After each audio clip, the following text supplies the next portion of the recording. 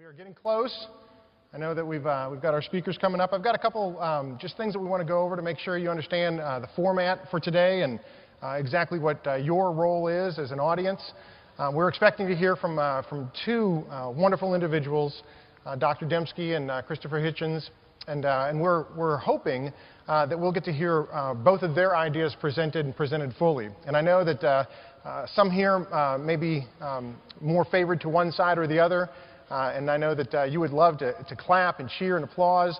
Uh, but what we're going to do is we're going we're to do a little golf clap, uh, where it's kind of that nice, polite clap. This is not the Happy Gilmore golf audience. Um, so we're going to try to refrain from that so that uh, both speakers have an equal opportunity uh, to present their message. Because really, that's why we invited these two individuals in. they're, the, they're the two of the premier spokespersons uh, on does God exist and is there a good God? And so we want to make sure that, uh, that we have your full attention and, uh, and we give your full attention to them.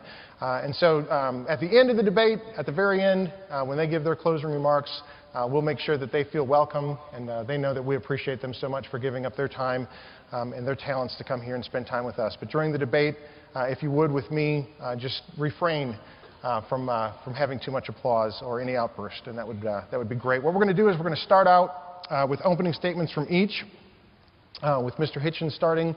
Uh, they'll have each 15 minutes to give an opening statement, which actually is a little bit shorter than what they're used to, um, but because we're a little bit younger audience than what they're used to, um, I was just talking to Mr. Hitchens before, and he said, This is a little younger audience than what I'm used to being in front of. He's used to being in front of colleges and adults.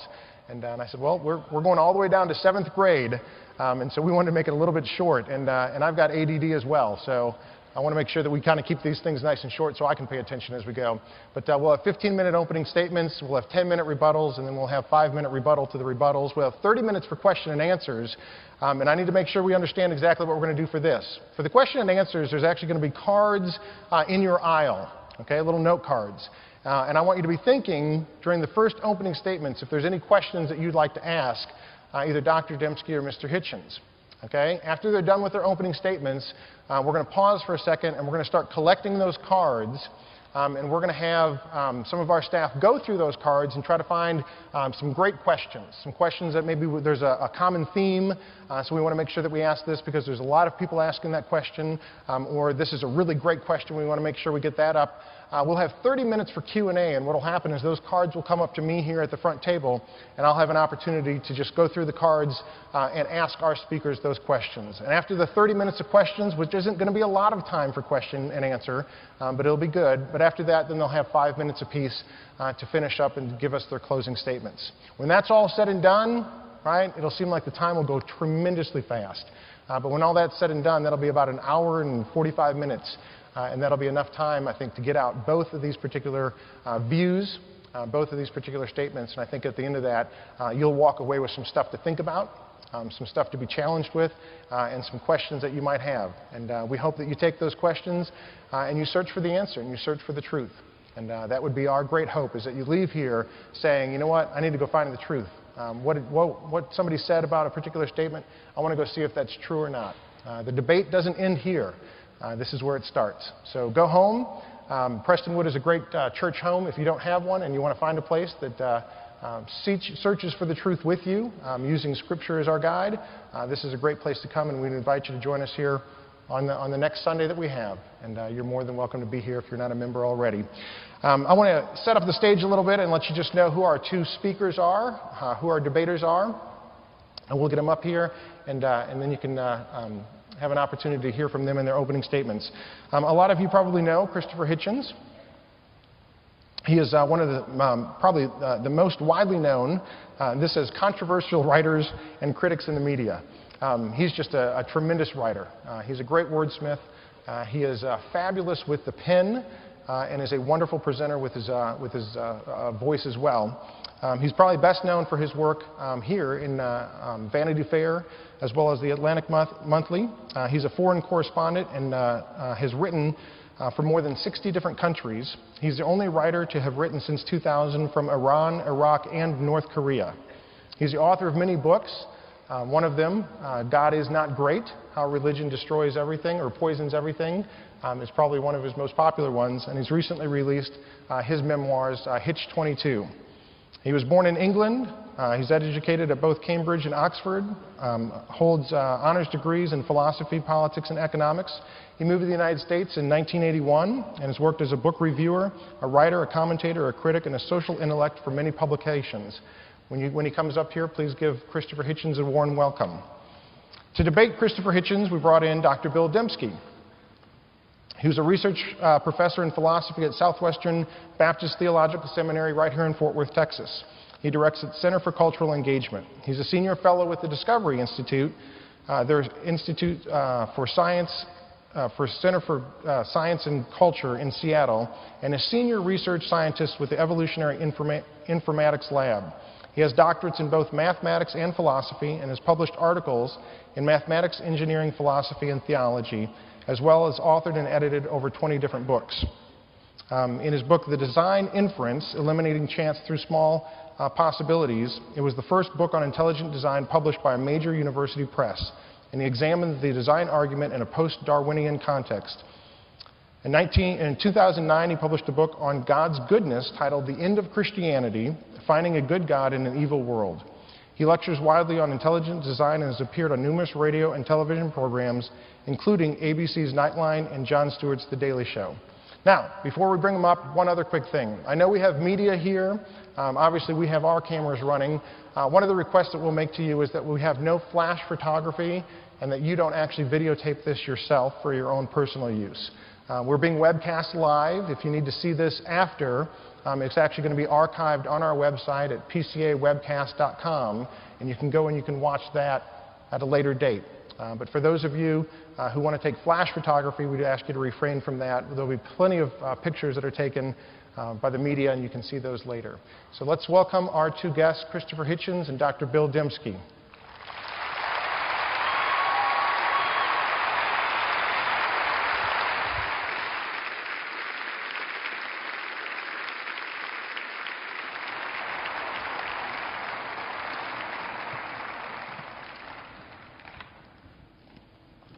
Thank you for an extremely handsome, generous introduction, during which I began to feel like, as I surveyed the audience also, and having been listening to your music, a bit like a Daniel being introduced to a den of, I'm sure, very charming, very charming lion cubs. Um, a different experience from my common one let's get straight to it because time presses. Um, there are, I suppose, three forms of the divine, and if you eliminate polytheism, which I think we may as well all do for today's purposes, there are two ways of approaching it. One is the deistic, and one is the theistic. I hope I'm not telling you anything you don't know, but if you don't know it, it's useful, and it's, it's a very important opening distinction. There are those, there have been those, among them were many of the founders of our, of our great republic, um, in particular Mr. Thomas Jefferson, who were not Christians, uh, but who were deists.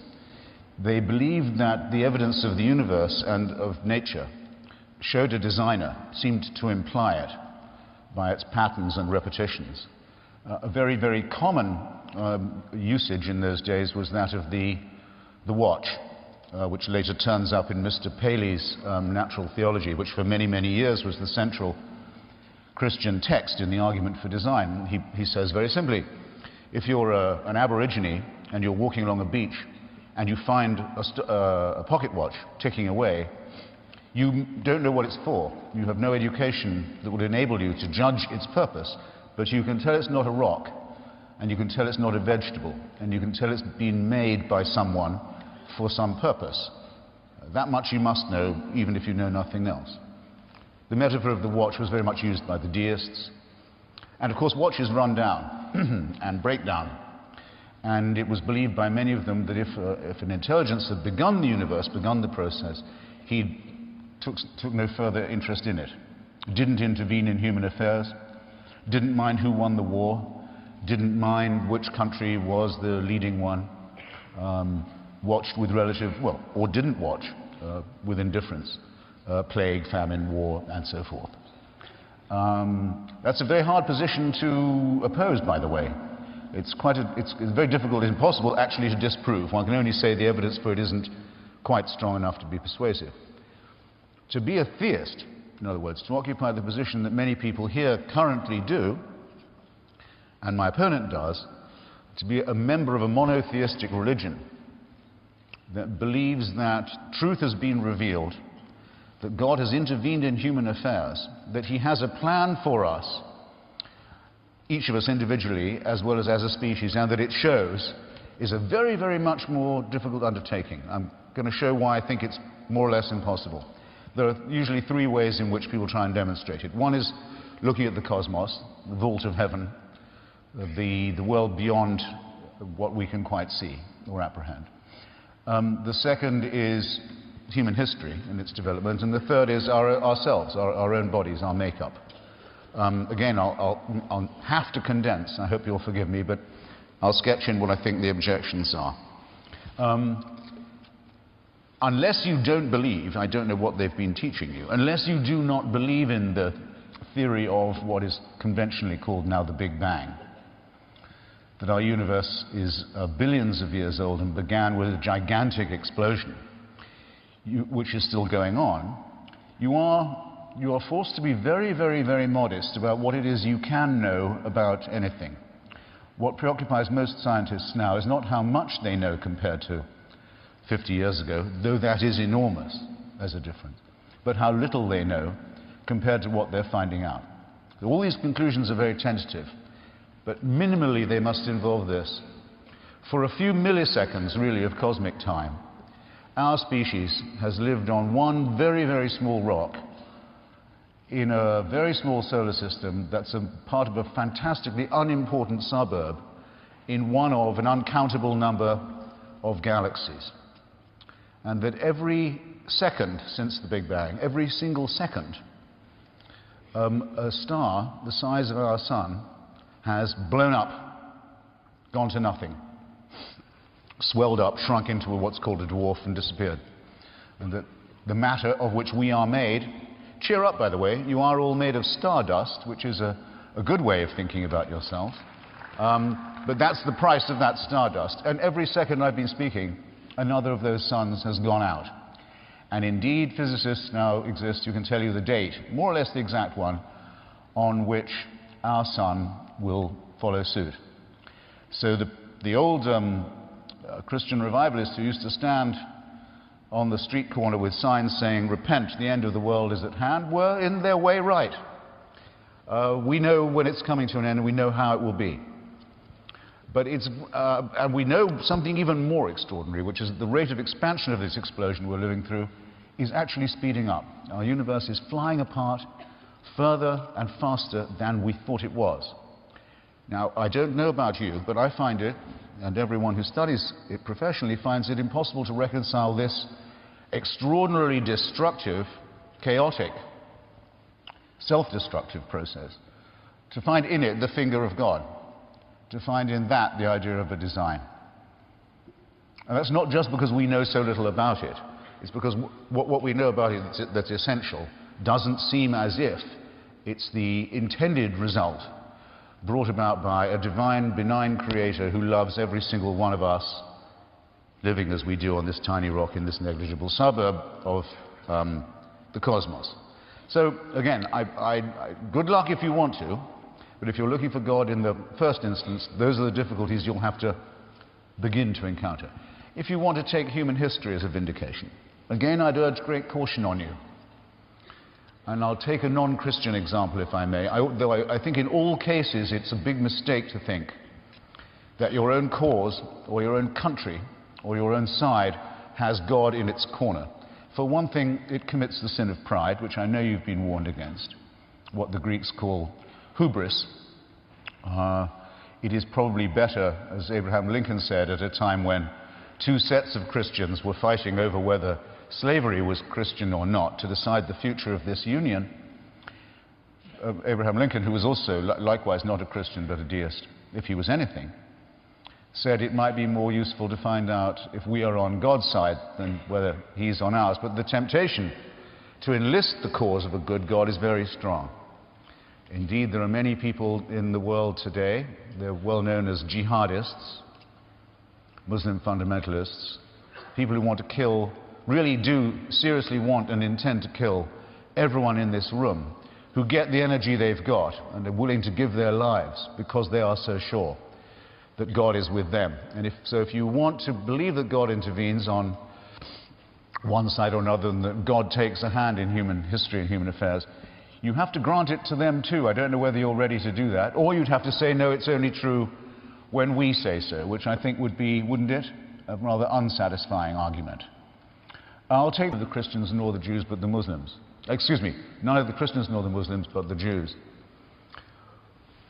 who say they have a covenant with God, whose testament we Christians, Christ, we Western civilization, Christians include in the Holy Book. Uh, those who claim to have met God, or whose leader met God face to face in the Sinai Peninsula, to have received the law, to have had a direct revelation of morality from Him, to have a special covenant. Now, let me just say briefly what, what the problem with that has been for the Jewish religious leadership. Uh, about 10 years before I was born, um, about 50 to 60 percent of the Jewish people of Europe were put to death in disgusting ways by mass murder, gassing, immolation. In Christian Europe in the middle of the 20th century. And many people wondered how God could, could permit this to a people who he had made a special relationship with. And many people left the synagogue as a result. They stopped going. The Jewish people are in their majority now post religious secular, very largely for this reason. And some rabbis were bold enough to say, no, there is a reason for this. You fell away from God and you forgot Israel, you forgot Jerusalem. Uh, it's a punishment for exile, it's a punishment for inattention to the covenant. Many people who'd seen their children burned alive uh, said, I'm, I'm not listening to this, I'm, I'm leaving, I'm leaving the, leaving the religion. And many rabbis went quiet, thinking perhaps they shouldn't come up with any too instant explanation for such a fantastic human disaster and human crime. And they waited, and then the Israelis won a war in 1967 which got them back control of the holy places in Jerusalem. And then the rabbis blew the ram's horn again and said, No, no, we should have waited. Now we see the finger of God. It was all to drive us back to Palestine, where we should have always have been, and to make us the owners of Jerusalem. Now we see what the design was. Well, I dare say you read the papers and watch the news.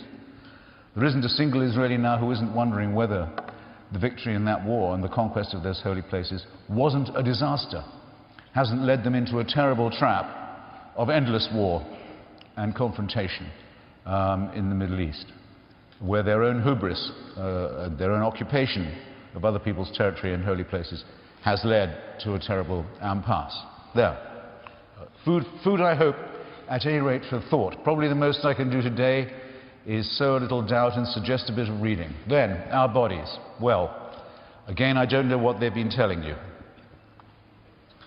about Mr. Darwin and about uh, where we come from and our kinship with other animal species, but I consider it a fairly settled question that our, relation, our, our resemblance to other primates isn't exactly accidental. It's now um, possible to measure, in fact, in chromosomes, we are perhaps half a chromosome away from the chimpanzee, our nearest relative. Um, all of you, when you were being born, when you were within your mother's womb, grew a coat of hair about four months in, and then shed it again. You don't need it anymore. Um, all of you have an appendix that isn't needed any longer for the kind of digestion that you do. All of you have the same teeth. That's why you have to work on your wisdom teeth so much and other things for the, for the, for the kind of diet other primates used to um, have to live on. All of you bear what Charles Darwin himself at the end of Origin of Species calls uh, the unmistakable stamp of your, our lowly origin. You're a mammal, a primate. Take heart, primates can do, are capable of very great things. But we are adapted to an environment, the African savannah, which we abandoned. Why did we abandon it? Because if we didn't abandon it, we were going to go extinct. There was such a climate crisis in Africa uh, the, all those thousands of years ago that the, the tiny tribe that was then us made the very smart decision to move north and out and away.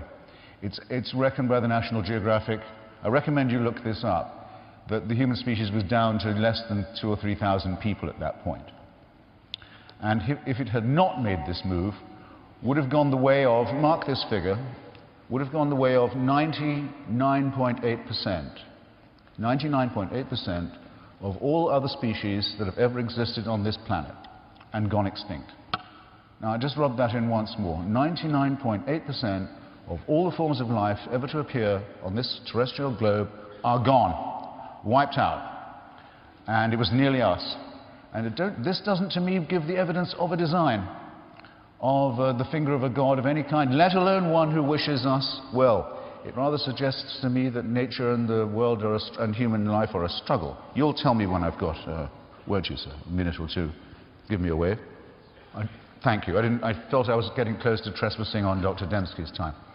Um, now, incidentally, very, it's really worth your time to write off to the National Geographic. They'll send you back a kit. You scrub the inside of your cheeks, put it in a, a solution, send it back. They will show you a map of where your ancestors came from in Africa and at what time and what route they took to get to where you are now. It will be very eye-opening. I strongly suggest you do it. While I have your attention, I also suggest on the matter of evolution that you read a book by Dr. Francis Collins called The Language of God.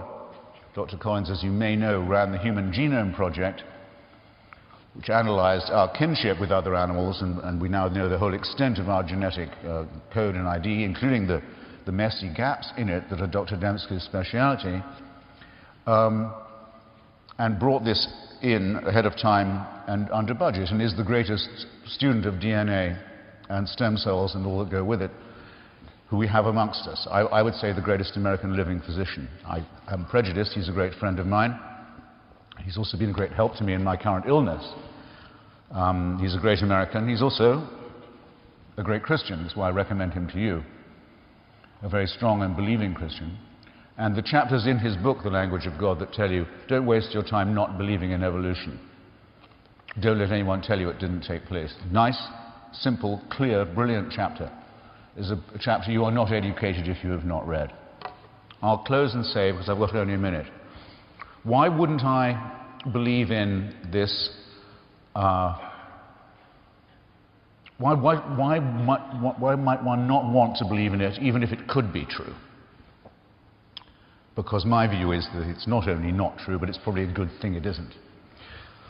Why is it not a good thing? Because I don't think it's healthy for people to want there to be a permanent, unalterable, irremovable authority over them. I don't like the idea of a father who never goes away.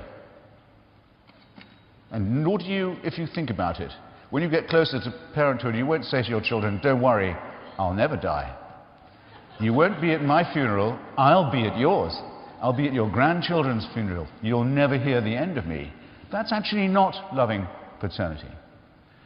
Uh, the idea of a king who cannot be deposed, very un-American idea as well as a very un undemocratic one. The idea of a judge who doesn't allow a lawyer or a jury or an appeal. This is an appeal to absolutism.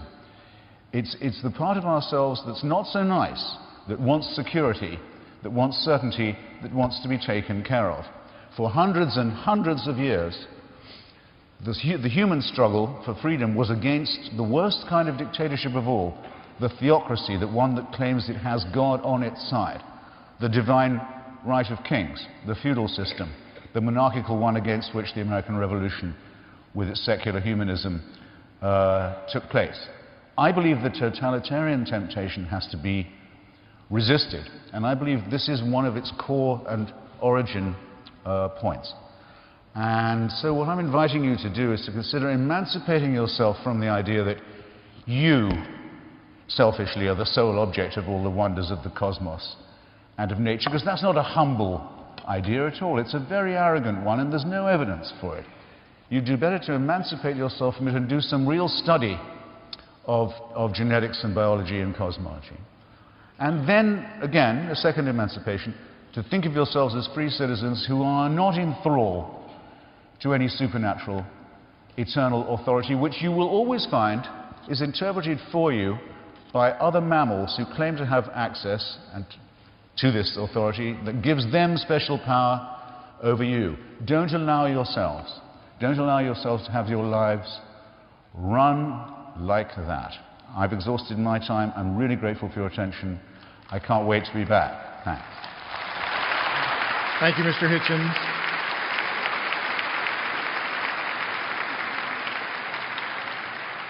For, uh, for both of our speakers, if this might be helpful to you, over my right shoulder in the back, there should be a countdown clock uh, that you'll see counting down for you. I don't know if you can see that or not. I'll give you a couple minutes warning because I can see the clock here in front of me as well. So, Dr. Dembski? Good morning. Thanks for this opportunity to be here. I'm grateful to Christopher Hitchens and to Prestonwood for giving me this opportunity. Uh, I'm going to, I want to address uh, first the existence of God, and then in my next 10 minutes, address the goodness of God. Uh, the, the, existence of God is really the weightier question. Once that's settled, the goodness of God follows, I would say, straightforwardly. Although I could rehearse standard arguments for God's existence, I want in this debate to take a different tack. Christopher Hitchens disbelieves in God's existence. Why? Lack of evidence and evils perpetrated in the name of religion, he says. Yet his book, God is Not Great, reveals a more basic reason. Hitchens, as a scientific reductionist, believes science has given us new knowledge and that it destroys religious faith. What is this new knowledge? According to Hitchens, it is Darwinian evolution. You may ask what a chapter on evolution is doing in a book defending atheism. At the end of that chapter, Hitchens explains, quote, We no longer have any need of a God to explain what is no longer mysterious. Let this sink in. Religion, according to Hitchens, renders biological origins mysterious. But now that Darwin has come and shown how natural selection explains biological origins, all is clear. Fellow atheist Richard Dawkins put it more memorably Darwin made it possible to be an intellectually fulfilled atheist. It's no coincidence that Richard Dawkins, the world's best known atheist, is also an evolutionary biologist. Atheists, like everyone else, need a creation story. Without God in the picture, something like Darwinian evolution has to be true. And so Hitchens, though a humanities guy, lectures his readers on proofs of evolution. Let's look at a few of these proofs as he gives them. One, junk DNA. If Darwin got it right, then our genes are cobbled together over a long evolutionary history, accumulating lots of useless DNA, junk, because it's easier for natural selection to keep copying junk than, than editing it out. This sounds plausible, but it is subject to experimental test. In fact, recent findings show that much of this so called junk DNA regulates gene expression. This is true even of repetitive DNA, the quintessential DNA junk. A forthcoming book titled The Myth of Junk DNA details these findings. Two, the Cambrian explosion. This refers to a narrow slice of the fossil record in which the main animal body plans appear suddenly without any precursors. The Cambrian explosion was a mystery in Darwin's day, and it remains a mystery to this day. Paleontologist Peter Ward writes about the Cambrian explosion as follows quote, the seemingly sudden appearance of skeletonized life has been one of the most perplexing puzzles of the fossil record. How is it that animals as complex as trilobites and brachiopods could spring forth so suddenly, completely formed without a trace of their ancestors in the underlying strata? If ever there was evidence suggesting divine creation, surely the Precambrian and Cambrian transition, known from numerous locations across the face of the earth, is it. Now, Ward, like Hitchens, is an atheist, so he tries to soften this statement later, but the mystery remains. For more on the Cambrian explosion, see my book, The Design of Life. Third point the inverted retina. Vertebrate eyes have nerve cells in front of the light sensitive retinal cells. This means that light first has to pass through a barrier before being detected. This seems counterintuitive, but there are good functional reasons for it. A visual system needs three things speed, resolution, and above all, sensitivity. If the eye isn't sensing light, it's useless. Now, it turns out that the light sensitive cells are the most oxygen greedy cells of all cells. And they get their oxygen from blood. The sensitivity here is truly astounding. Some frog eyes can sense the smallest unit of light, a single photon. Positioning the nerves in front of the light sensitive retinal cells ensures maximal blood supply to the retina and thus maximal sensitivity. But the story gets better. In 2007, it was reported in the Proceedings of the National Academy of Sciences that Müller glial cells, these are the little cells, the fat cells that coat the, uh, the nerves, act as optical fibers conveying light to the retina.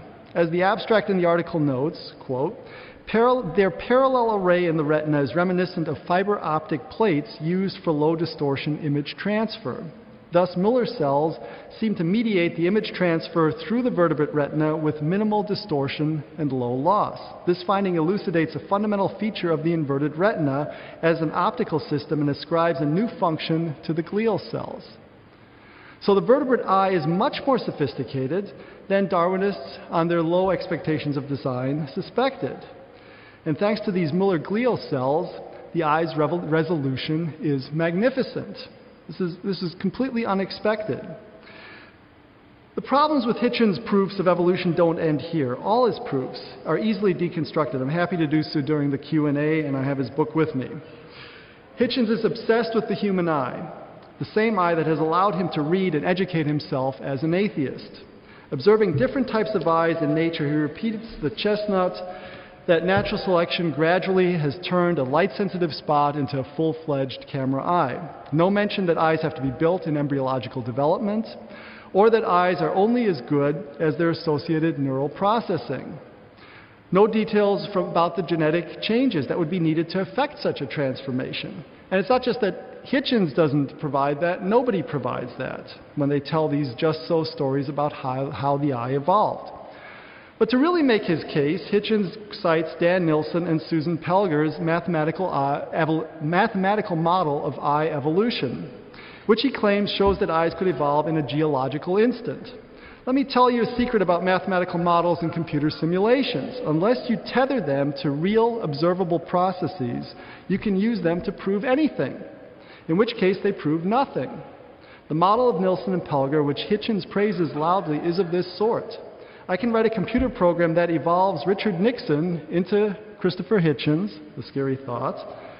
Such simul- simulate prove absolutely nothing.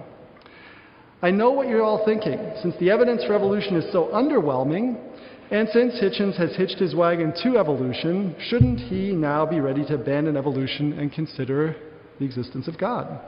Yet this is precisely what he will not do.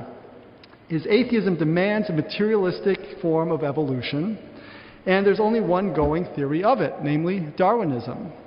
The alternative, which places us here as the result of design, is for him a non starter. It's unthinkable. In regarding design as unthinkable, Hitchens puts himself in an atheist straitjacket. For the atheist, we must be here as the result of a blind, purposeless evolutionary process. There are no other options. Atheism demands evolution. Okay, it's not that evolution forces you to be an atheist, but if you are an atheist, that is your only option. For the theist, on the other hand, it's possible that God used an evolutionary process to deposit us here. But it's also possible that God deposited us, deposited us here in ways that make our design evident. Either of these are live options for the theist, and the theist can consider them fairly. Atheism, however, cannot live without Darwin. Hitchens needs evolution to be true. His treatment of it is therefore calm and deferential, albeit mistaken. By contrast, his treatment of theology and biblical studies is boorish and obtuse. For instance, Hitchens dismisses Israel's time in Egypt and Sinai as myths lacking all archaeological evidence. Yet that evidence is readily available. Take, for instance, James Hoffmeier's books on the topic, published by that flaming fundamentalist publisher, Oxford University Press. Or consider Hitchens' view of Jesus. There is, according to him, quote, little or no evidence for the for little or no evidence for the life of Jesus, close quote. Come again? It's one thing to deny the miracles attributed to Jesus, but to say, as Hitchens does, that Jesus is, quote, not a historical figure, close quote, is contrarian silliness. For all his talk about freedom of inquiry and enlightenment rationality, Hitchens exhibits a very selective concern for truth. What seems to matter most to him is not whether a claim is true, but whether it makes a good stick to beat religion. Deny that Jesus was real? If it helps advance the atheist agenda, go for it, especially since it's easy to get away with this in an age of theological illiteracy. Whenever Hitchens invokes science against religion, one gets the impression that a juggernaut is rushing forward, crushing everything in its path. Science advances, religion retreats. This is wishful thinking. Fact is, as any historian of science understands, science is not a cumulative enterprise. So reversals, retractions, and revolutions play as much a role in science as insights, illuminations, and intellectual breakthroughs. Thus, new scientific advances, far from undercutting religion, can in fact overturn anti theistic conclusions derived from prior scientific mistakes. Chemical evolution is a case in point. Chemical evolution attempts to describe how non living chemicals arrange themselves into first life. Atheism requires that chemicals have this ability. Darwin attempted to strengthen the atheist's hand by arguing that first life was so simple it required no designer. Darwin's argument, made in a letter to Joseph Hooker, has since shown itself to be a failed argument from ignorance. Precisely because of what Darwin didn't know about the complexity of the cell, microscopy being quite limited in the 1800s, he thought the cell was so simple that it could easily self assemble from ordinary non living matter. I point out to you that these arguments from ignorance uh, charges apply both ways. I mean, it's possible to argue from ignorance for design, but it's uh, possible also to argue for, from ignorance uh, for non design. The revolution in molecular biology of the last 50 years has given the lie to this misconception about chemical evolution. We know we now know that every cell and all life is composed of cells is a vastly complicated assembly of interconnected technologies that argue for intelligent design. We need to be engineers to understand what's inside the cell, and the level of engineering we find there far exceeds anything humans have invented. There's a whole field of engineering called biomimetics, where you look to the engineering that we find in living things and then use that to invent technologies for our use and pleasure. Now, if you want to see this, just the complexity of the cell, I urge you to get your PDA, call up YouTube, and punch in, quote, inner life of the cell. And I actually, I won't, my feelings won't be hurt if you do that right now while I drone on here. Uh, I just mentioned that what for Hitchens is a dirty word, intelligent design. For Hitchens, intelligent design, or ID as it's now abbreviated, is just rebranded creationism. It is religion and not science. But in fact, intelligent design covers a broad range of special sciences, including forensic science, archaeology, and the search for extraterrestrial intelligence, or SETI. Intelligent design, by definition, is the study of patterns in nature that are best explained as the product of intelligence. Let me give that to you again. The study of patterns in nature that are best explained as the product of intelligence. It is a basic feature of human rationality to identify the products of intelligence and distinguish them from the products of natural forces. Okay, even our language draws that distinction. Was it the result of intention, purpose, design, intelligence? Was it the result of chance, accident, randomness, noise, necessity, chance, necessity? We draw this is a fundamental way we have of making sense of the world. So, and many special sciences capitalize on this distinction. They would not be possible without it.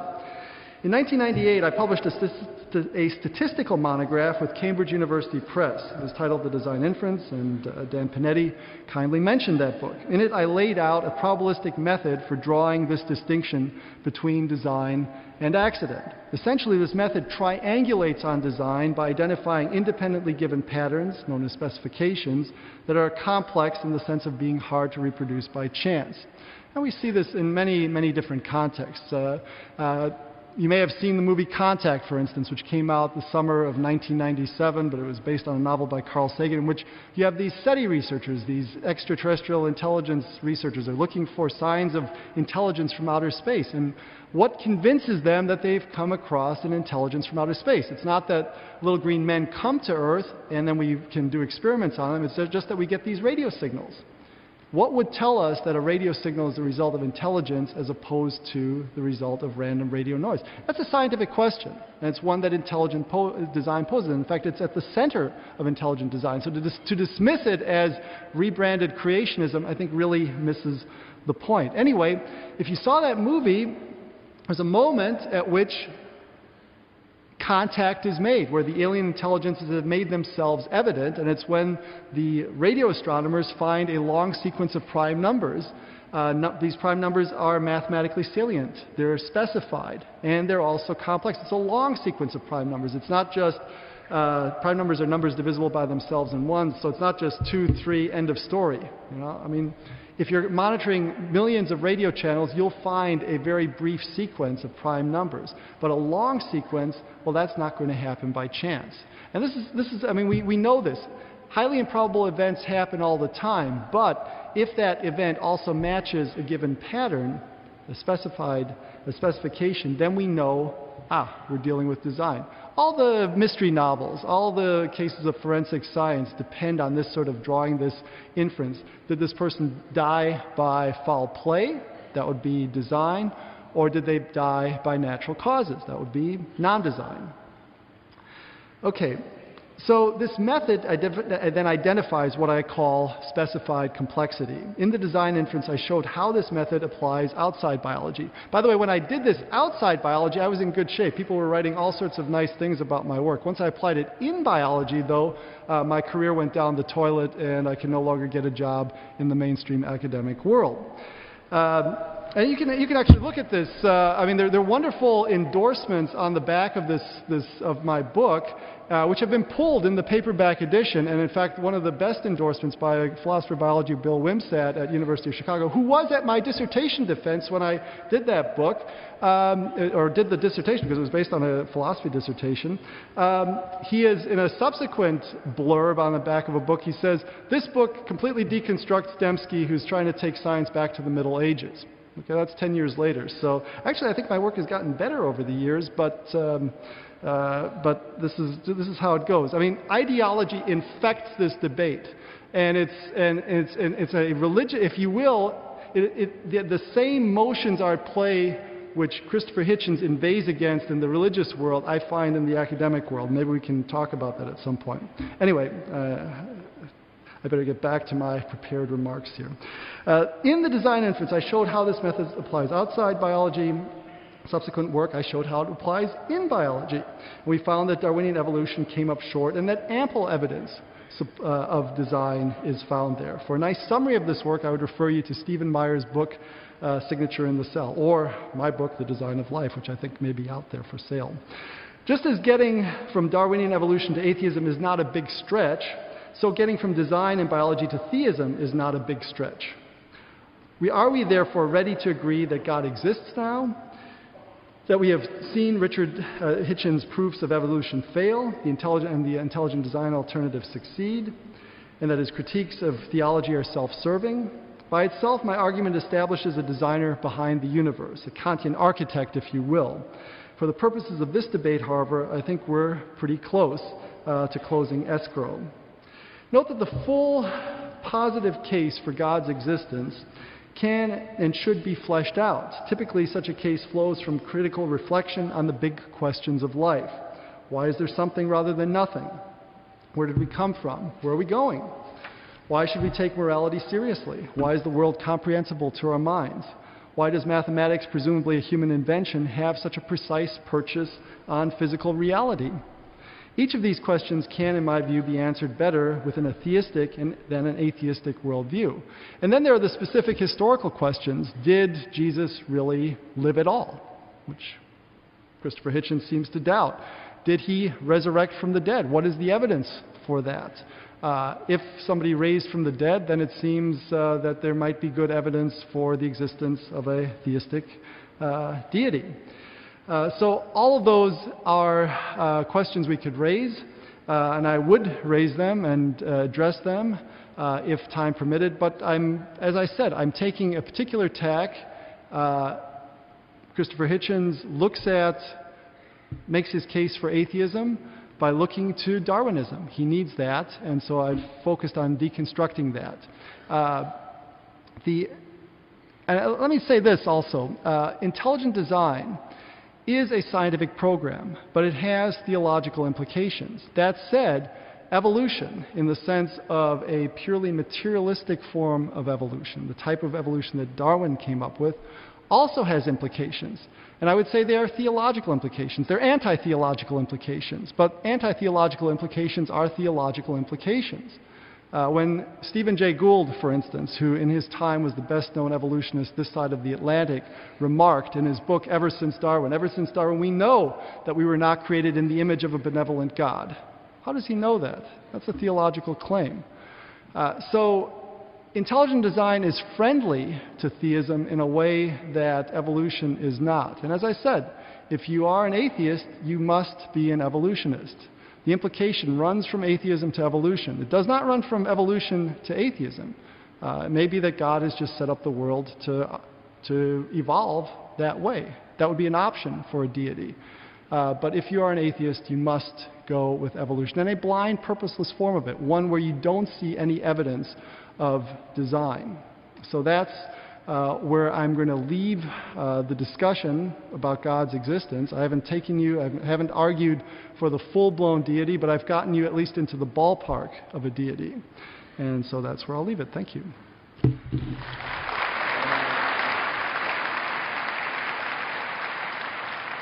Thank you, Dr. Dembski. We're going to go ahead and uh, actually pick up cards for those of you who uh, would like to ask a question. If you could pass those cards um, to the aisles. We'll have some people around to, uh, to pick up those cards, and uh, those cards will make their way up to me uh, after we hear the rebuttals from, uh, from each of our speakers. So, uh, Mr. Hitchens, 10 minutes for rebuttal? I'll try and do less if I can, because I'd rather reserve time for questions if possible. But um, yes, after all, I've been challenged on a number of fronts, and uh, that's what I enjoy. Um, I, I, was trying to think of something that I agreed with. Um, but I, I, found I had to disagree almost ab initio, as it were. Um, an atheist does not have to be an evolutionist. Atheism long predates the discoveries. Atheism long predates the revolutionary discoveries of Charles Darwin. Um, there was a time when the word scientist didn't exist. Actually, the word scientist is a late 19th century coinage that I sometimes feel we could do without. In the, um, in the time of Sir Isaac Newton, for example, people who did the work of the sort that he did were called natural philosophers. And I think that it's important to realize that science is not just the study of the material world um, or, or, or, laboratories. I mean, after all, Einstein, um, Sir Isaac Newton may have been a very, very, very great scientist, but he, he maintained a furnace in his room in Cambridge at all times because he was also an alchemist and believed he would one day find out how to turn base metals into gold. He's one of a long line of people who were genius uh, crackpots. Um, he believed, for example, that the Pope was the Antichrist. Maybe it's true. Um, uh, and that the, if you could find the measurements of the old temple, that would be far more useful than knowing what the measurements of gravity were. But he was a, uh, natural scientists knew absolutely nothing about evolution. Um, the work of Spinoza, the work of Voltaire, I'm trying, the work of Lucretius. Admittedly, Lucretius did work out Democritus and Epicurus as well at that period of the Hellenistic period. They did work out the world was made of atoms. I, a very brilliant thing for them to have done at the time. The mystery to me is only this uh, because none of these things necessarily depend on one another, why it is that organized religion has always been so hostile to discoveries of this sort, why it should take them so personally. The work of Lucretius, De Rerum Naturam, that uh, established that we're made of atoms, and so is the rest of the, of, the, of the system, was hated by the church for centuries. Only about one or two copies of it were allowed to survive. They didn't want you to know this. As you know, the church didn't want Galileo to look through a tube and see, would make the disconcerting discovery that the sun doesn't go round us, we go round the sun. I presume now no one is going to give me an argument about that today. Why would anyone care which way it worked? Well, because if we don't go round, if the sun doesn't go round us, we're not the center of the universe. Which makes it, doesn't it, fractionally less likely that we're the objects of the whole thing. If we revolve around something else, it could be we're not the sole object of a huge cosmic divine design. So, what I've been trying to attack today, and I've given no reason to want to attack it less, is this reassuring idea that it's all about us, this solipsistic, selfish, I think, unscientific idea. The work of Darwin and later of innumerable uh, uh, writers, many of whom are Christian, on evolution shows that there's absolutely no necessity at all for an incompatibility between a private belief in God and a recognition that we arose out of natural selection and random mutation. Let me just take the question of the eye. Uh, I think Dr. Dembski said I was obsessed with it. That's absolutely not true. It's simply that Darwin himself doubted at first that the eye could have evolved given its complexity, and because the eye is the example most commonly brought up, so I thought, okay, in my book I'll take the most complex and the most difficult and the most well-known example.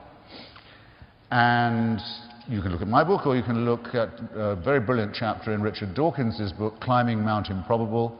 Beautiful short chapter on the 25 different evolutions of, of the eye and the different ways in which it's taken place.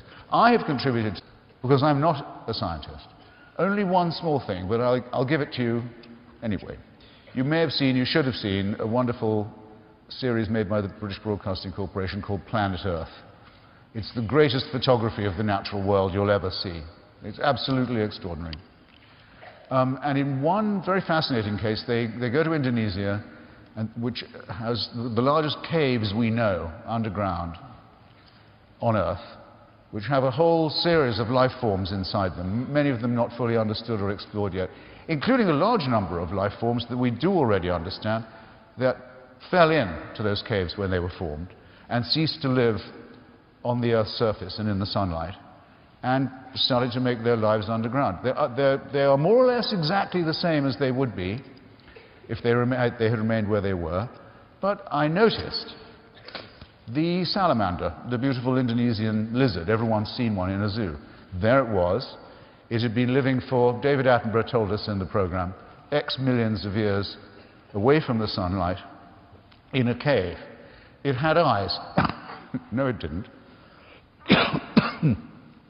It had perfectly eye-shaped indentations, exactly where the eyes used to be, like a little sketch or outline of an eye, but no socket. The socket had gone, the eye itself had gone. All you could see was the vestigial. It had adapted. It had decided to lose its eye. Most of our studies are about how people got hold of eyes. Dawkins's is the best one, whatever Mr. Dembski may, Dr. Dembski may say, of the different ways in which different creatures got different eyes. But no one until your humble servant, because I, I wrote off to my friends and my enemies and said, Has anyone noticed this before? had thought, now how do animals lose their eyes? The same way they got them, by not needing them anymore, by adapting away. If you live underground in the wet, in the dark, it's a big hazard to your survival to have a wet, useless spot that can't receive any light, two of them on your face. It can pick up infection, it can make you vulnerable. You lose it. It takes millions of years, but you'll lose it. That's what we're talking about adaptability. Wrongly, it's said that Darwin talked of the survival of the fittest. People draw often cruel and inhuman conclusions from this and attribute it to Darwin. Didn't say anything of the sort. What he said is adaptability is what helps survival. If I told you that in parts of Africa where elephants are shot for their tusks, elephants are growing shorter tusks in reaction, you would, I'm sure, laugh. How would the elephant know how to do that? Elephant sees hunter, works out hunter wants tusk, is an ivory hunter, shrinks tusks to minimize chance of being shot. Don't be ridiculous. Well, no, that isn't, of course, what happens. What happens is the ones with long tusks get shot quite a lot. And the ones with shorter or no tusks have, therefore, greatly enhanced opportunities of being the ones who survive and breed. And their descendants actually have shorter or no tusks. That's what adaptability is. That's what evolution is. It's not some kind of trick. Um, in the time I've got, that's the best I can do on those points, on that point, because I want to come, in what remains to me, to the uh, allegations made about my, um, my theology. Well, the archaeologists of the State of Israel, after the 1967 war, when Israel became, for many years, the possessor of the Sinai Peninsula, it's now given it back, and of the West Bank, Judea and Samaria, the biblical territories, had an unprecedented opportunity to show that the Bible story was archaeologically provable. And they were told by the founding leader of the State of Israel, David Ben Gurion, go out, dig, find, he said, dig up the title deeds of our state. They had the strongest motive and the greatest opportunity any archaeologists have ever had.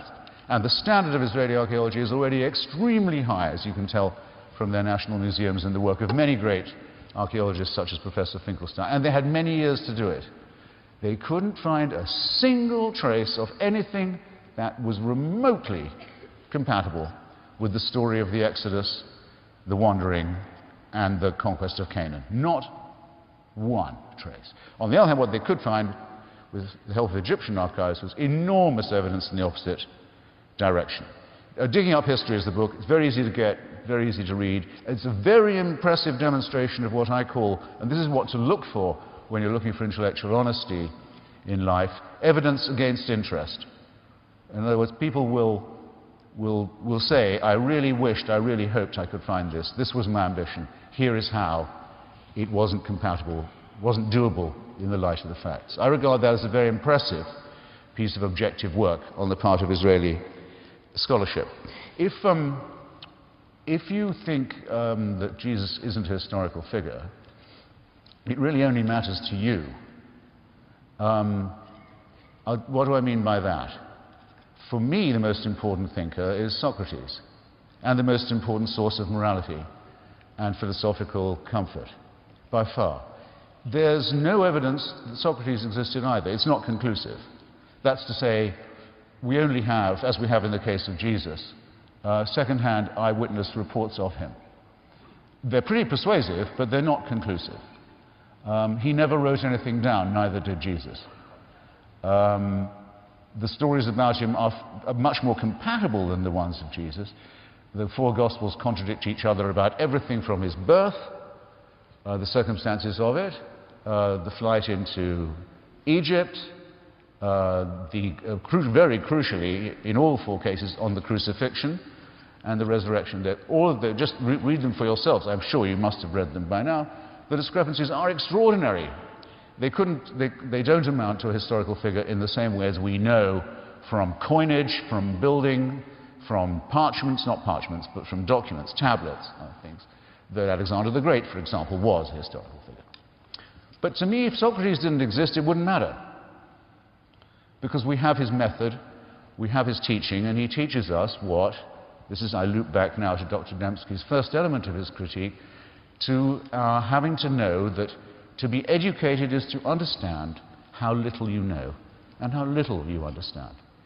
Dr. Dembski seems to think he's laid some kind of gigantic egg that's about to hatch a huge squawking chicken, when he points out that among evolutionists and among uh, physicists and, and others, there are huge differences and disagreements.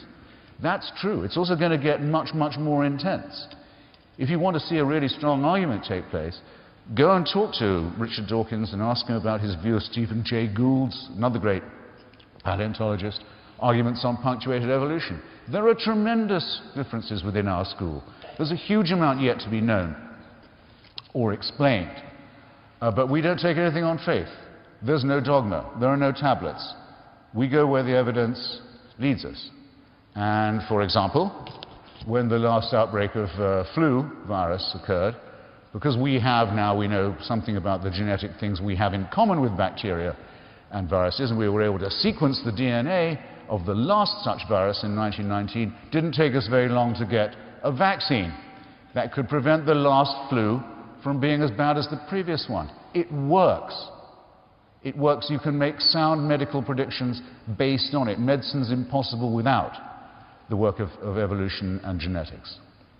And you should be grateful for it. But it doesn't mean there's no God. It just means that we have what we think are better explanations for our human nature. Um, I think that runs me out perfectly. And again, thank you for your attention.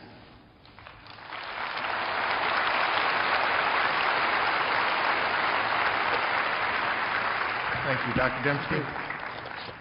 Very good. Uh, the topic of this debate is the on the existence and goodness of God, and I, I want to focus on these ne- in this next 10 minutes on the goodness of God, arguing for that. But um, I, I, do want to just say a few things about um, some of the comments uh, that. Uh, uh, Christopher Hitchens just made, uh, the, the claim that atheism predates evolution. I mean, it's certainly true that atheism uh, predates Darwin's theory of evolution, but uh, the idea that nature, the material world, is all there is, uh, that there's no, there are no gods, no transcendent intelligence, nothing beyond this material world. Uh, that is an old notion, and those notions often have, I mean, if, you, if that's all you've got, nature basically has to do its own creating, its own self organizing. And it's not surprising then that in the materialist philosophers of old, uh, Christopher mentions uh, Lucretius, for instance, you have a prototype of Darwinian evolution of natural selection in his De Rerum Natura. I mean, I, I read this with my students. Uh, so you evolutionary ideas go back a long way. They don't take precisely the form of, of Darwinism, but if you are a, an atheist, uh, that's really the only game in town. Matter, the natural world, has to organize itself. And if you look at the old creation myths, uh, Enuma Elish, uh, the, the Greek creation myths, Hesiod's, Theogony, what you find are natural forces, the cosmic egg, the waters, Tiamat and Apsu, sweet and salt waters in the uh, Babylonian uh, mythology, and they organize themselves, and then finally at the end you get Marduk, uh, the, the, the prince of the gods. So you go from simplicity to complexity, and that's always the direction of evolution. Now it's interesting, uh, he brings up vestigiality, the cave fish. It's a very different thing losing an eye and gaining an eye. I mean, if you have an eye, you go put the fish in a, in a cave, you have these cave fish, and all you need to do is disable some gene or some promoter or something, and the eye is gone. And, doesn't, and it's not needed. Evolution doesn't have to try to get it back because it's, it's gone and it's not needed. But getting the eye in the first place, that's the problem. That's where the design comes in. Uh, Christopher mentions the appendix. Actually, the appendix has a use. I mean, it's, it's recently been found that it's a repositor of, uh, of these, uh, these probiotics and it's, uh, it's been implicated in the immune system. I mean, that's been known actually for, for a number of years. But uh, so whenever you ascribe vestigiality, you are in danger of making an argument from ignorance because it may be that some use ends up being found. Although I would admit that in, with the cave fish, that that's not going to happen. Um, uh, you know, the claim that medicine would be impossible without evolution, what are we talking about? I mean, nobody in the intelligent design community doubts that Darwin uh, let me put it positively, everybody accepts that Darwin got something right. The, the point is, how big of a picture, how much did he get right?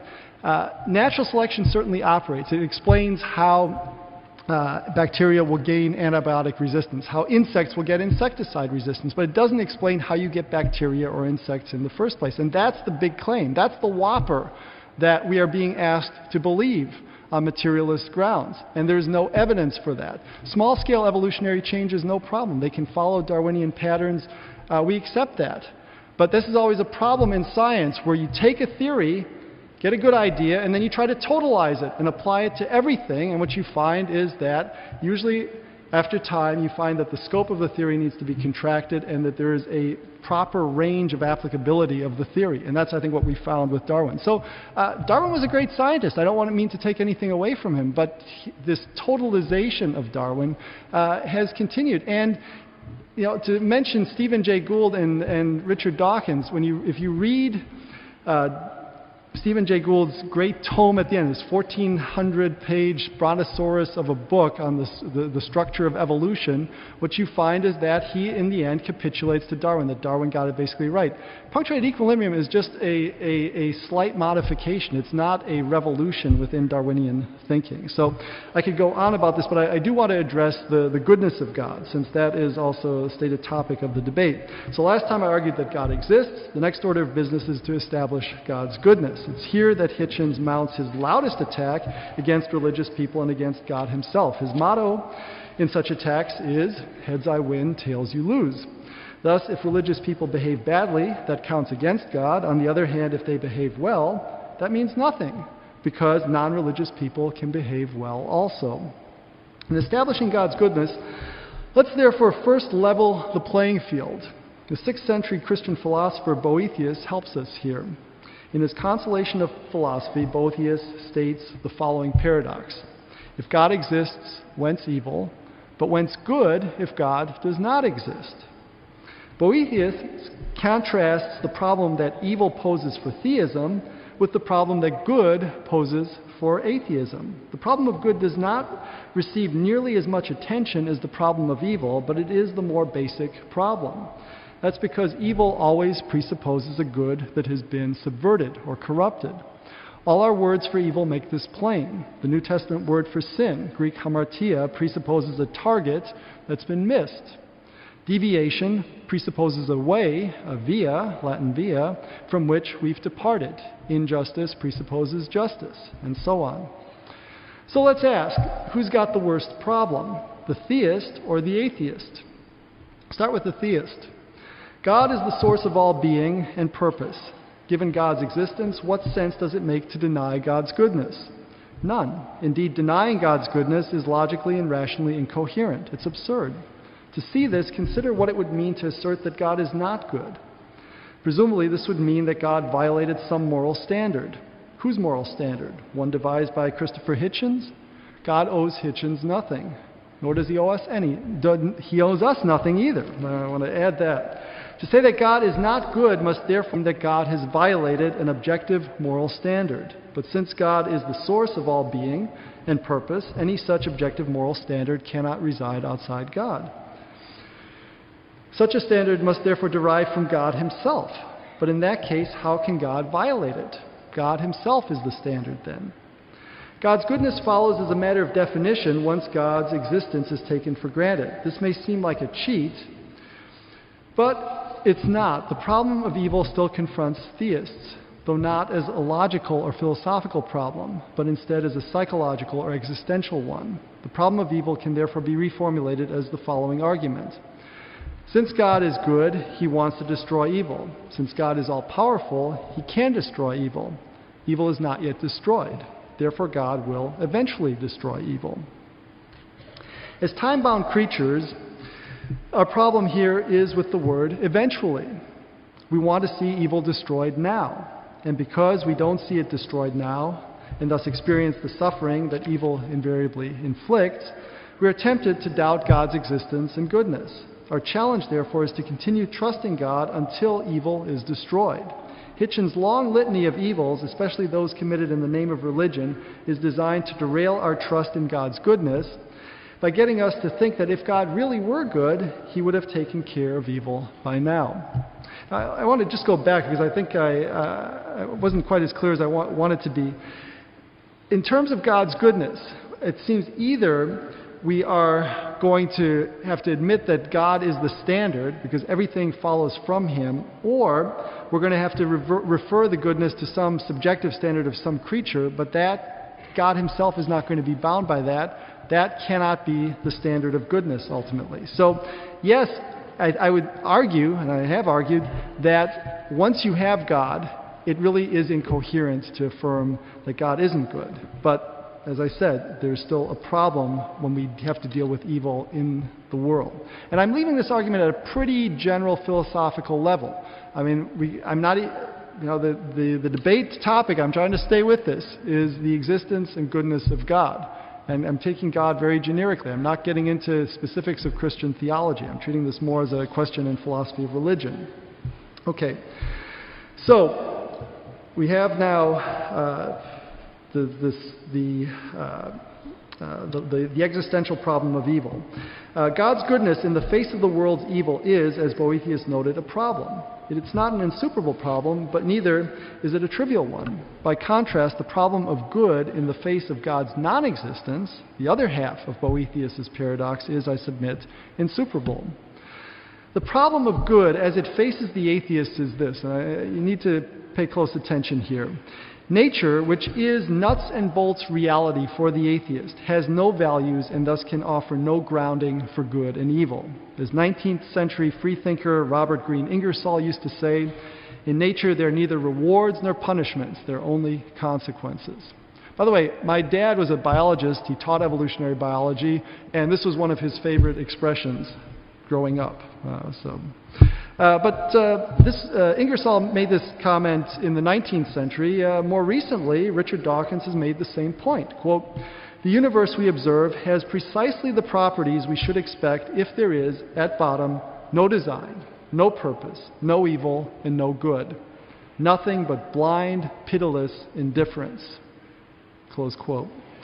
Values on the atheist view are subjective and contingent. They reflect inclinations to behave and feel in certain ways given the conditions of survival and reproduction under which our ancestors evolved and the social conditions under which we've been reared. Hitchens speaks of moral values as being innate and waxes indignant when they are violated.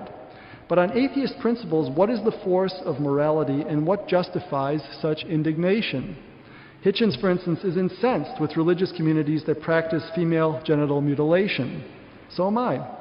But without an objective moral standard, which atheism cannot deliver, Hitchens himself is at bottom a complicated piece of matter that evolutionary and social conditioning have inclined to react in certain ways to certain behaviors. In particular, he reacts quite negatively to this practice. But religious communities that engage in this practice are quite content to continue it. Moreover, on atheistic principles, they have the better argument, for they are surviving and reproducing quite nicely, indeed, out reproducing the secular West. On atheist principles, morality is, as Michael Ruse and E.O. Wilson note, an illusion fobbed off by our genes to get us to cooperate. This statement by Ruse and Wilson is very widely quoted, but too often the punchline gets omitted. Let me read you the punchline. This comes at the end of that passage. Morality or ethics is illusory. Okay, they've just said that it's an illusion. It's illusory, but why? Inasmuch as it persuades us that it has an objective reference. That's the punchline. See, for morality to work, it has to convince us that there's an objective reference. Because if we realize that it's just bunk, then we're not going to do it. We have to be deluded into thinking that there is an objective moral standard to which we have to bow down. And as long as we're deluded in that way, then we can be moral. So this is, this is their point. That's the kicker. Christopher Hitchens is morally earnest. So is the female genital mutilation community. Try to convince either that they're wrong and get into the fight of your life. But their passionate moral convictions on atheist principles merely show that they fooled themselves into thinking that morality is objective and universally binding. No, on atheist principles, all that's going on is one group of material objects. Enlightenment rationalists, like Christopher Hitchens, are inclined to one set of behaviors, and another group of material objects, female genital mutilators, inclined to another set of behaviors. Just to be clear, and I'm going to go over just a, a moment, I think I went under the last time. I'm not saying that atheists can't act morally or have moral knowledge. But when I ascribe virtue to an atheist, it's as a theist who sees atheists as conforming to objective moral standards. The atheist, by contrast, has no such basis for morality, and yet all moral judgments require a basis for morality, some standard of right and wrong. So the atheist is cheating whenever he makes a moral judgment, acting as though it has an objective reference when it does not. But perhaps such cheating is inconsequential. The American pragmatist philosopher C.S. Peirce held that for a difference to be a difference, it has to make a difference. Christopher Hitchens claims that atheists can behave just as morally as theists. In fact, he claims that they will behave better than theists because religion poisons everything.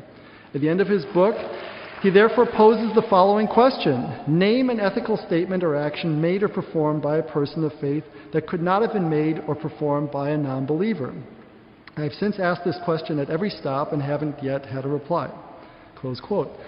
But Hitchens has posed the wrong question. Since God exists and has created us, we all have moral knowledge built into us by God and thus are capable of performing the same ethical actions. Hitchens' question therefore answers itself. A far more interesting question would have been given a moral action, what is the profile of those who engage or refrain in engaging in it? And do religious as well as anti religious factors play a significant role here? Consider eugenics, euthanasia, and abortion. Those who oppose these actions are largely people of faith. They see humanity as made in God's image, and therefore human life is sacred. Accordingly, it would be a profanation for them to engage in these acts. Conversely, those who embrace these actions are largely anti religious secularists. They see humans as evolved mammals, pieces of complicated matter in motion with no transcendent value. Obviously, then, theism and atheism have profoundly different moral consequences. Here's a difference that makes a difference. At the heart of this difference is the existence and goodness of God. And for that last thing on eugenics and euthanasia and abortion, I would refer you to John West's book, Darwin Day in America. Thank you.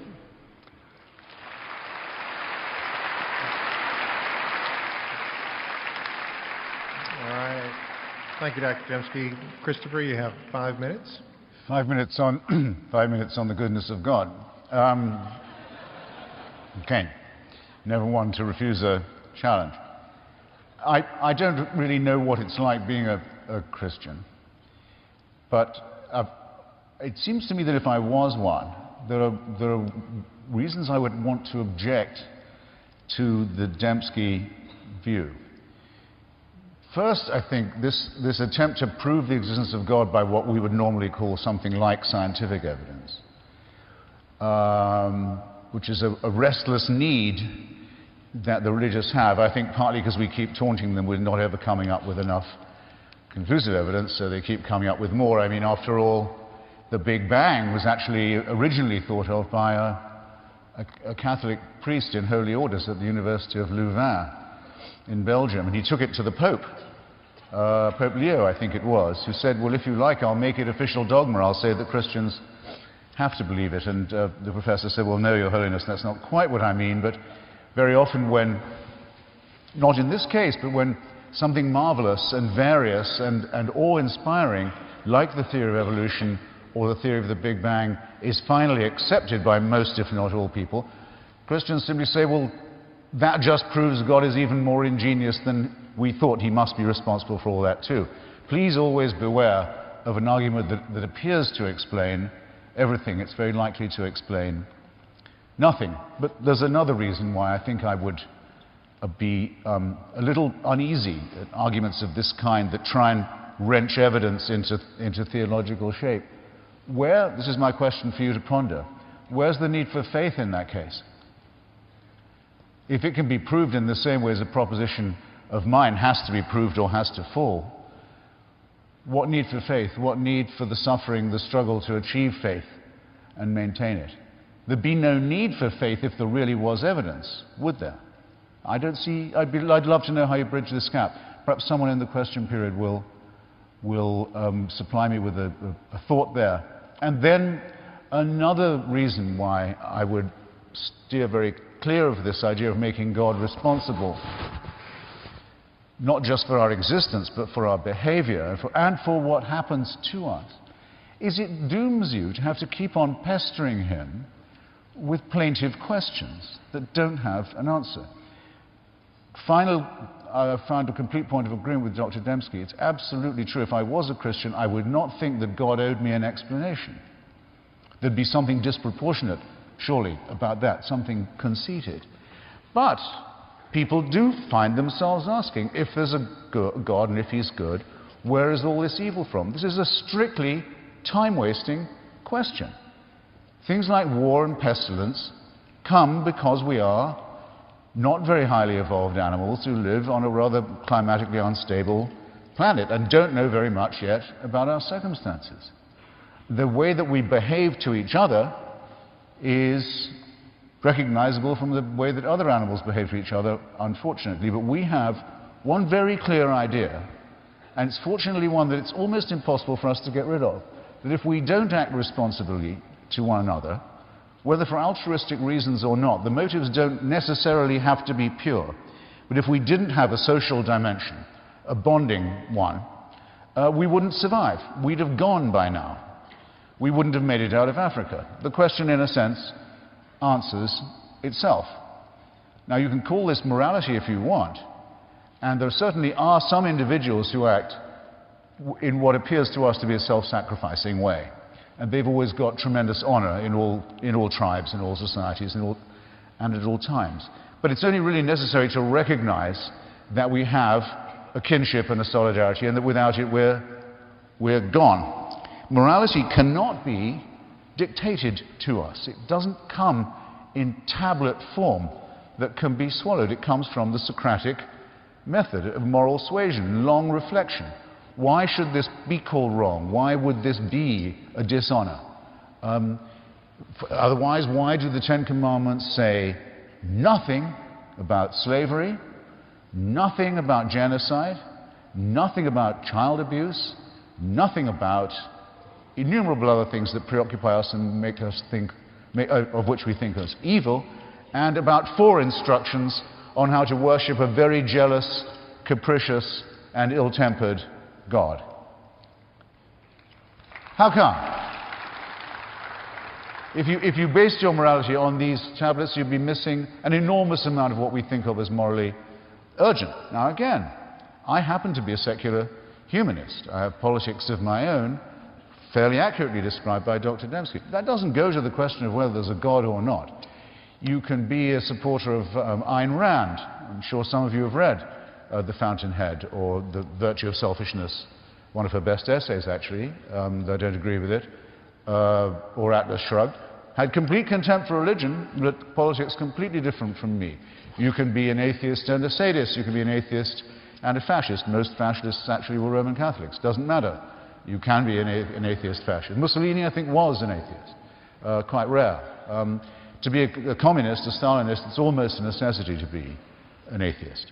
Um, there are as many choices as you like. All we say is there's no supernatural dimension, there's no rescue coming to us from the unseen, there's no such thing as salvation, um, and we are as alone as other species are um, in, this, in this struggle.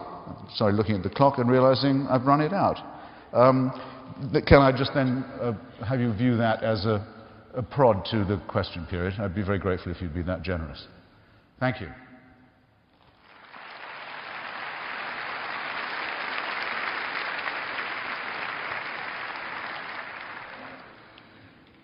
Okay. Let me, uh, I'm going to focus more on the scientific questions because that's really where I've been punching away. I think, uh, as, I, as I said, I think uh, from looking at Christopher Hitchens' book, it seems that ultimately the question of science and that science has given us new knowledge has been at the, the center of uh, his justification of atheism insofar as he justifies it. Uh, so I want to look at a few of the, the scientific uh, issues that, that he has, has raised, which I've not yet uh, discussed. Uh, one thing that he keeps bringing up is this uh, Copernican or super Copernican principle, the idea that uh, Copernicus displaced us from the center of the universe. Uh, that uh, we had been at, on Earth, and then everything, the heavens were going around the Earth. And when that happened, that somehow we had uh, a pride and we knew that we were the center of God's attentions. And then somehow, when uh, that changed, when Copernicus put us revolving around the sun, then somehow our place was, uh, was minimized. And then as we found that the, the heavens and are much bigger than we ever suspected, our place has been shrinking and shrinking and shrinking. And uh, Carl Sagan referred to the, the pale blue dot, that our planet is a little dot, and that, uh, that there's uh, really nothing uh, there, uh, that, that we're very insignificant because of our small place in the cosmos. Now it's interesting. Uh, if you look at the ancients, when they looked at, saw the humans at, on earth as at the center of things, they did not regard this as a place of privilege. Uh, the earth, in this ancient conception, was a place of decay, corruption. Motions were straight because motions would come to an end. The, the heavens around them, that was the place of eternity. And in fact, God was thought to, to reside beyond these heavens that were circling the earth. So my point is just that the, we, we thought that the uh, we had this privileged, the, the, the, common conception is that we had this privileged place, but actually the ancients didn't see it as a privileged place at all. They saw the privileged place as way beyond the, the heavens. So, yeah. Christians did that. It was the ancients. This, this, this is Aristotle, Ptolemy, and all this, and the, the Christians took but it I'm over. I'm not arguing with them. I'm arguing okay. with you. Okay. All right. But the, uh, the, the, I, I agree the, with them. But, okay, but the, the point is that uh, that what is what determines our significance? I mean, Pascal said by in size the heavens swallow me up, but with my mind I comprehend the heavens. It seems that our intelligence, our language, the things that distinguish us from uh, the other animals, that's what puts us in a privileged position. I mean, I think was it, uh, I mean, if size is a question of value in, in the ultimate scheme of things, I think G.K. Chesterton put it, then, uh, then humans sh- should have thought less of themselves because of the nearest tree. Uh, so th- my point is just that this principle has been used by atheists as a club to try to get us to think less of ourselves, to think that human ex- exceptionalism doesn't hold. And this is a big theme in the atheist theist discussion, trying to minimize the place of humanity, and it has great moral consequences because if we don't see ourselves as made in God's image, as exceptional, not in a prideful sense, but exceptional in the sense that we are made in God's image, that, that humans have a special place in the scheme of things, then I think you do very easily run into eugenics, euthanasia, abortion, things like that. So it is a significant point. Uh, let me uh, address just uh, another issue, which is uh, what, what of faith if we've got all this overwhelming evidence for design? I mean, usually uh, the argument is made that the evidence for evolution is overwhelming. By the way, I got so tired of it that I finally bought the domain name overwhelmingevidence.com, and I also own the domain name underwhelmingevidence.com. At least I used to. So, but the thing is, what what of it? I mean, design takes you only so far. I, uh, I know that uh, I've watched a few debates with Christopher Hitchens, and he, he knows about uh, Kant's first critique and the, uh, the whole point that the design argument, the teleological argument, does not get you to the, the Christian God or to a transcendent creator. It gets you to an architect of the world. Now, that gets you in the right ballpark, but design gets you only so far. So, so uh, getting, having intelligent design is not a proof of the Christian God. It doesn't get you the gospel. It does not get you the tomb. It does not get you the resurrection. Intelligent design is not the gospel. So, I mean, and people, I mean, atheism has remains to this day a minority position, but was much more a minority position, I would say, in the ancient world, where most people were polytheists, a few monotheists.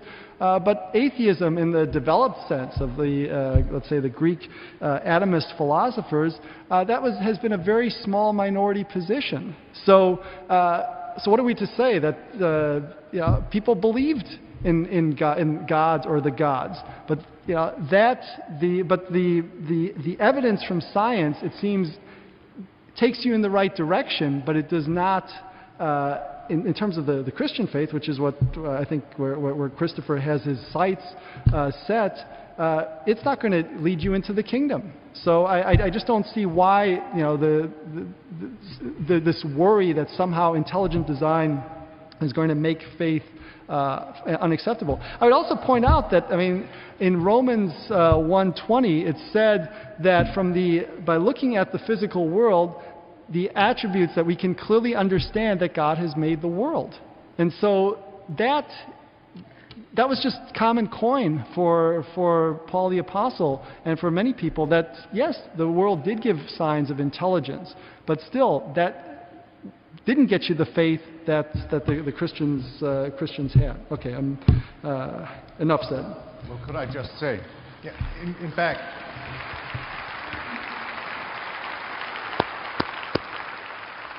I mean it by, I mean it by way of applause, that I mean I think it's remarkable for Dr. Dembski to say that his scientific work doesn't have and isn't supposed to have any Christian implications. I think it's a great gen- generous admission well, on your part. Well, but it's, it does get you in the right direction. It's friendly. I would say intelligent design is friendly to Christian theism in a way that Darwinian evolution never was and never was intended to be. I mean, if you look at Darwin toward the end of his life, uh, he was a, con- a strong agnostic in the sense that no knowledge of any God was possible at all. All right. Well, we've got some time for uh, questions that we'd love for you guys to respond to. And uh, what we'd like to add, too, if, uh, if you have one question for each other at the end, based on what uh, the responses that you'd like to ask uh, Mr. Hitchens or you'd like to ask Dr. Dembski, uh, we'll save time for that as well. The first question, uh, and these are for both of you to respond to, um, obviously they're kind of pointed towards one person or the other, but the first one is for Mr. Hitchens. Um, using the evolutionary process, where do you, and, and, you answered this a little bit, but if you could expound on it, um, where does the concept of human thought and the ability to reason come in, especially in dealing with things that would seem to go against um, the, uh, the, evolutionary concept, um, the idea you mentioned before was self-sacrifice. Why would there continue to be something like self-sacrifice if that's not going to, um, you know, continue to move on the species? So where does that idea, the ability to reason, come from using evolution? Well, seems, I think the question may be confusing the idea of reasoning with the idea of self-sacrifice, which isn't necessarily an irrational one. Um, my favorite example, I think, would be um, because we do, we do, we do need a, a, an explanation, or it would be nice to have one. It's a good speculation. Why do people get pleasure from doing things that aren't necessarily in their interest, just for the sake of other people? I hope no one in this room hasn't had that feeling at a certain point. Um, and it's, it's very nice that we have it, along with all our predatory and selfish and other survival necessary attributes. I think my favorite example is that of giving blood. Um, I like giving blood. Um, I like the feeling that I'm giving someone else a life giving fluid. I am giving it. Uh, I'm also not losing it. It doesn't take very long to replenish a pint of blood, so it's, it's a really wonderful gift relationship to have. You haven't lost a pint, but you've given one. Um, so there's no need for any sort of feel good or self congratulation about it. You haven't really made a big sacrifice, but you've taken a little time, you've thought about other people. And then I have a very, very rare blood group, um, and I'm very anxious that there be enough blood when it's my turn. So there's every interest in the good feeling that I have, the warm feeling that I have, being one that evolution has given me for my sake and for everybody else's. I don't think there's anything very mysterious about that, do you? Apparently not. Okay. It doesn't require it doesn't require that I have a divine spark. It doesn't require any design. It doesn't require any programming. And I'm perfectly aware of the fact that a lot of people don't do it. Don't. And of course, there are a lot of people who, are, who don't care about others at all. We call them sociopaths. And the design apparently also makes quite a lot of psychopaths, people who can only be happy, making other people unhappy. These are all children of God as well, according to you. It's not my problem. That's exactly what you would expect from the imperfectly evolved primate species. No mysteries there. Nothing to explain, nothing to call on God about. Why did you allow Hitler? We know where Hitler comes from. There's no, don't, real, uh, the principle of Occam's razor in, in logic and philosophy. Keep it by you at all times. Don't make mysteries where none exist. Don't increase the number of unnecessary and complex questions. Very important principle. It's death to religion, that principle. Would you like to respond to that as well? Maybe just a follow up. I mean, it's, it's certainly a big theme both here and in uh, Christopher Hitchens' book, this idea of bonding, that, that evolution has uh, given us some sort of group solidarity, makes us bond, and that this, uh, that this helps preserve the, the species. So, it's, uh, uh, so it all kind of matches up. And I think, I think there's, uh, you can get that from evolution. I, I don't think you need to get it exclusively from evolution. I think certainly one can argue on basis of design that God has designed us to be social creatures. But the thing is, if you're going to take the bonding from evolution, it seems that there are lots of other things that you can take as well. I mean, uh, Darwin referred to evolution, the evolutionary process, as the great battle for life. And some people have taken it in a very uh, negative and violent way. Uh, there were uh, two authors uh, recently that wrote a book on the evolutionary history of rape and argued that rape is an evolutionary adaptation. Uh, you have somebody like uh, Steven Pinker writing, I think it was in the New York Review of Books or New York Times Magazine about 11 years ago, justifying infanticide because uh, in our hunter gatherer past, uh, mothers would sometimes kill their infants during times of drought so that they would have more resources, could keep themselves alive, so that when the drought was passed and then times of abundance came back, then she could get pregnant again, have a child, and then rear it properly. Uh, and so this was why did Steven Pinker write this? Because there had been this prom mom, a girl who had gone to a prom, delivered a child, and killed it there. So the thing is, evolution is a very mixed bag. You can get some, you can argue for some good things out of it, uh, you know, and you can look at the animal world and you'll see some some very nice fuzzy things that uh, behave very nicely to each other, and then you'll see some very wicked things. And I think this was actually the problem for Darwin. Uh, if you read I mean, he cut his teeth on William Paley's natural theology. The longest chapter in William Paley's natural theology is the second to the last one, in which he's trying to justify the evils in nature, and he tries to really minimize it. He poo poos it. He says, well, uh, yes, organisms kill each other and they die, but it really happens very quickly and there's not much pain. Darwin takes his voyage on the Beagle, looks at the natural world, and he sees a world of parasites and nastiness. And he says, How could this be? How could a good God design something like this? And you see this mixed bag in nature.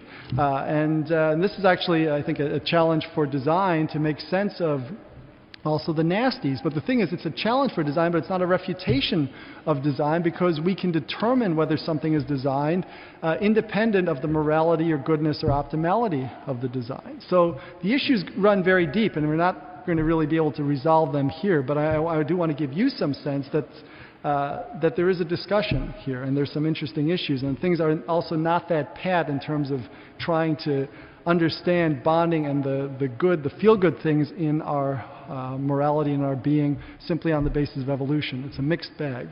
Whereas, whereas only a few verses away, only a few verses later than the Ten Commandments, uh, God instructs the children of Israel to kill everyone of the other tribe, the Amalekites, the Midianites, everybody, all the men, all the children, and to leave only the marriageable women alive.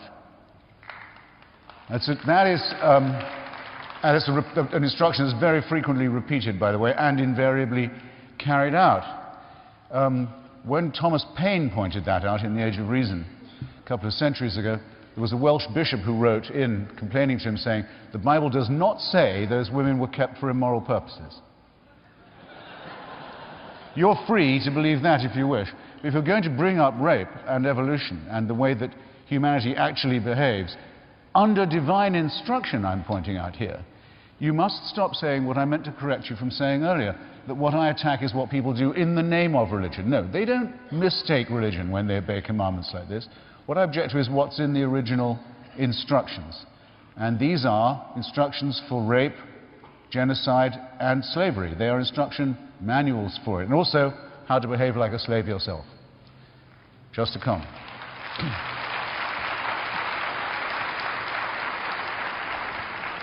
I, I want to be careful here because I mean the, the topic of the debate was the existence and goodness of God. I mean we, we weren't talking about Christian theism, but I mean, I think uh, here we are at obviously a, a, Christian church. So let's talk a little bit about this. I mean, certainly, if we're going to do this, we have to get into a little bit of Christian theology. One thing that's very clear is that in Christian theology is that this is a broken, fallen world. And in a broken, fallen world, there are often no good, no optimal solutions. I think we can see this uh, in, even in human contexts. Uh, the dropping of the A bombs on Hiroshima and Nagasaki. Uh, difficult decision. Do we do it? We did it. Uh, not to do it means meant probably losing hundreds of thousands of American lives. Uh, so there was, there was the, the, the problem is that in a fallen world there is no perfect optimization strategy. And it seems to me that God, in dealing with a fallen world, is often confronted with uh, a, uh, uh, trying to get the, the, the, best of some bad options. Uh, and I think one thing, you know, the, it's funny that the, the Amalekites keep coming up. The Jews decimated or annihilated them. Uh, but the thing is, the Jews also turned against themselves. They probably fought as much against themselves as they fought against other people, and sometimes in, in divine judgment. Uh, when the, the concubine in Judges uh, was dismembered uh, because of this, uh, the, the, the Benjamites, Benjaminites, the, the, almost the entire tribe of Benjamin was destroyed. Uh, God is a just God, and in a sense, He's not bound by the same rules that we are. He makes the rules, and uh, the fact is, we all die, and this is uh, this is a decision by God. I mean, the, the, the way the world is structured. Why do we have this death? Why is it a broken and fallen world? Ultimately, Christian theology teaches that this is a, as a result of human rebellion against God. So you've got this whole system of theology. Now, Christopher Hitchens looks at that, he's aware of it, and you know, he's not going to have a part of it. But there is the whole system that, that you that that comes to you. And it does the alternatives, it seems, uh, if you're not going to go with a theistic position, a Christian theistic position, or some other position, maybe you don't find that one right, then it seems that you're confronted that with an atheistic position, which has its own problems. I think uh, the indignation and that that Christopher Hitchens feels, and you know the thing is, I applaud probably 80, 90 percent of his book, the the the, the hypocrisies, the problems that he finds. Uh, you know, no question about that. But on what basis does he do that? And I don't think he can do it on an atheist. I think often one gets the sense that you know, he, he comes in, it's hit and run, all these faults that he can find, problems that he can find with religion. But he has an atheistic worldview, and that has problems of itself. In a fallen world, no worldview is going to be perfect. It's not going to cover things. I mean, that's, that's, that's, that's the problem. And so we do have a problem with evil. We have a problem with good. We have lots of problems.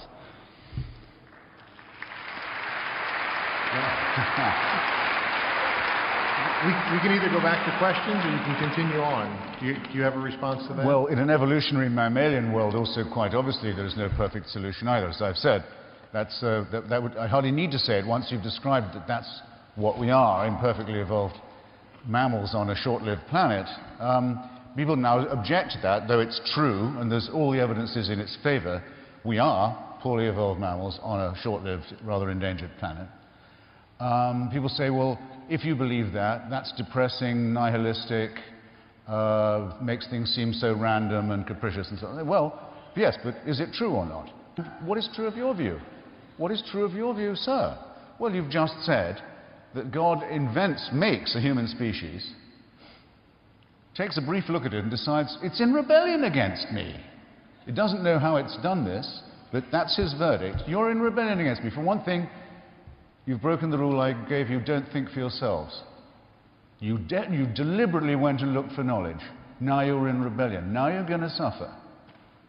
Now there's nothing that won't happen to you. I made you and I can break you. And I will. I'll flood you, I'll plague you. Now, what is this? This is like being a terrible insect or rodent in the, in the laboratory of a cruel and stupid person. And what could be more, what is more nihilistic? What's more nihilistic and alienating than that? It's all summarized in one line, if you wish. To believe what Dr. Dembski believes and his co thinkers believe, you have to consider yourself created incurably sick and then ordered on pain of death and eternal torture to be well. This is not morality.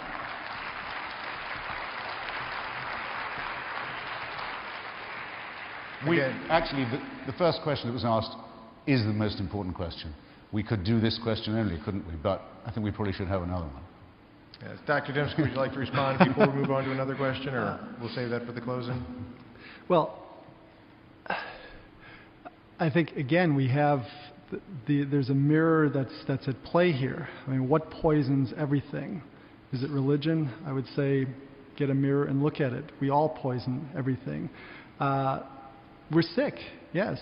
Uh, but I would say not incurably so. In fact, uh, the, the, cure is there, uh, according to Christianity, in Jesus Christ. So it's, uh, so it's not, uh, and it's interesting. I mean, in a lot of these discussions, Christopher has not brought, brought this up, but I mean, he has a real problem with the vicarious atonement, as he calls it, or substitutionary uh, view of the atonement. but what, what's interesting, it seems, it seems that he always omits that in God becoming human in Jesus Christ, that God has established solidarity with the human condition. Uh, this was actually in my own conversion the thing that was the turning point. I mean, I was raised in a largely secular home, uh, biologist father who taught evolutionary biology. And so none of these issues were issues for me, really, the science faith stuff. Uh, what was crucial for me was did God know what was I, I was going through? Did He have knowledge, not just of description as this potentate, as this capricious dictator, which you always refer to off there, but did He know what I was going through in the moment, the, the pain and suffering that I was experiencing? Uh, and the fact that Christ had become human. You see, I, I was raised a Roman Catholic. I had no belief that Jesus was God. I remember sitting back at, I went to Catholic prep school, six days of school a week, studied Latin and Greek. Uh, went to, uh, went, I remember going to church, and because uh, I was forced to go to church, and the Catholic priest saying, You cannot be a Christian unless you believe that Jesus was God. And I remember consciously thinking, I don't believe this. You know? And when I was uh, started at the University of Chicago at age 16, I was asked what my religious preference was. I put down Hindu because I was, a, I was basically a New Age guy. That's, that's, that's what I was thinking. But none of those, none of that, uh, I, the, the, the sense I always had that was God was distant, and at best he knew what I was dealing with by description, by knowing, by kind of reading a book out of it, by looking from his heaven and seeing what I was seeing what I was going through from a distance. Missionaries who live in glass houses uh, are not very impressive. Missionaries who go and live with the people and suffer with them, those are the ones who are impressive. Jesus came and lived with us. And not just lived with us, but suffered an excruciating death. Excruciating, I mean, that's a word that comes from crucifixion. It was a word invented because of the pain he went through. So he knows everything that the humans are going through. And that's why he can be a mediator. You know, I mean, from your leftist background, Christopher, you, you know, I mean, the importance of solidarity, and that's what God established with us uh, through Christ coming and through the cross. And so, you know, for you to dismiss, you know, the, the atonement at one man, God making union, it's, it's not a capricious dictator. Uh, the, the fact is, dictators go, you know, they capture a country by subversion, by coercion. God owns everything. He created everything. He's the source of all being. And it's not going to be a North Korea in which we uh, you know, are forced to worship God. That's not the, the, thing is, I mean, the, He's the creator of everything. So, I mean, would, wouldn't you want to visit with Shakespeare if you could get a chance? Well, what about visiting with the one who created Shakespeare? I mean, th- there's going to be no uh, boredom in heaven because we're dealing. I mean, if, if the earth is exciting, how much more exciting is the one who created everything? So this is the Christian perspective. I think, yeah, you, there, there's harshness there in the scriptures. There are Amalekites and a lot of things. But what would you like? Would you like a sanitized Bible in which there was nothing like this, in which we eliminated all of this? Because all the carnage that we see in the scripture is there today. And it's done in the name of religion, and it's done in the name of secular, atheistic principles as well. Know? What poisons everything? We do. Okay. Yeah, we do because we're created sick. But, um, I mean, look, as some of you may or may not know, in the early uh, Christian years, there were many um, leaders of the early church who thought that Christianity should be a new religion um, which it's not, unfortunately, for you. And the, the, other, the reason it'll never triumph um, is because it insists on shackling itself to the terrible books of the Jewish Old Testament. Now, great Christian thinkers like Marcion was the best known. There were Marcionite churches all over the, the Middle East, just for the study and worship of the, me the message of the Nazarene. But it was decided no. The whole Nazarene story had to prove, had to reverse engineer and prove the truth of the Old Testament books as well. And with this insufferable burden, you've saddled yourself with an unbelievable and wicked religion. Um, it's a pity, I sometimes think. But I think there are deformities to the, the, pure Christian religion too, and he mentioned the name I give to one of them. Uh, a doctrine that I think is strictly immoral the idea of vicarious redemption. Now, though I say I don't think there's any historical definite proof of this person's existence, because all the accounts of him are so discrepant, there are so many of them that it's enough to persuade me that there must have been some such figure. And it's not that unlikely that there'd be a charismatic rabbi wandering in a region that was hungry for messiahs and kept on hoping to find them. It's not at all unlikely that there was one, or that he would have got in trouble with the Romans and been, as people were who get in trouble with the Romans, very harshly treated.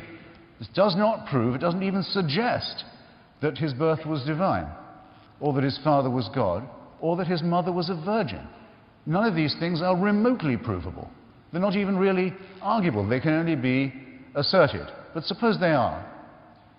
I then have to be told that the torture and human sacrifice of somebody, which if I'd been present, it would have been my duty to try and prevent, which I did not ask for, which I, over which I have no control, that took place thousands of years, according to some, before I was born, commits me, and that I have no choice in the matter, and that my sins are forgiven by this human sacrifice. Now, what's wrong with that? If I like you enough or love you enough, I can pay your debt. I say there was folly on your part, but I'll pay it for you. In extreme cases, people have been known to volunteer to take other people's place in prison, or even, one or two very famous cases, on the scaffold. They'll say, I'll do that for you. I'll do it for love, or I'll do it for suffering humanity. But that's the most they can do. And it's not bad. What they can't do is take away your sins, because that would be to take away your responsibility. I can't say you didn't steal or lose that money that I'm having to pay now. I can't say that this course of folly didn't get you into prison. It did. And now look what you're doing, doing to me. I can't relieve you of that. I can't wash you white as snow and make you new again. It's more than can be promised and more than should be promised. Vicarious redemption is scapegoating. It's throwing your sins onto an animal. It's an old primitive practice from the Middle East. It doesn't deserve the attention of civilized or thoughtful people. So, anyway, it's power. Let's admit, it's kindly offered to me. I give all these objections. I think it's highly implausible. I don't really believe the story. Um, I didn't ask for it. And having considered it, I would rather carry on living, trying to lead a decent life without it. Okay, thanks. But thanks for asking. Oh, no, sorry. You didn't hear us right the first time. It wasn't an offer. You refuse it on pain of death. Excuse me, I won't be talked to in that tone of voice.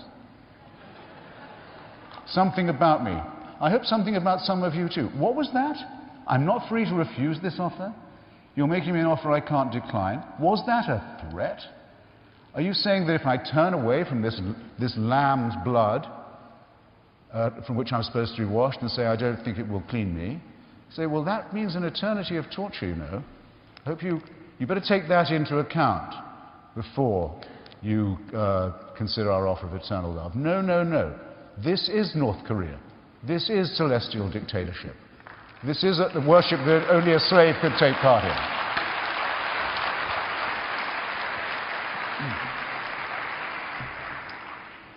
I'm, I'm happy to respond to this. I think we've, we've only gone through one one question so far. But let, let me just say this that you refuse this on pain of death.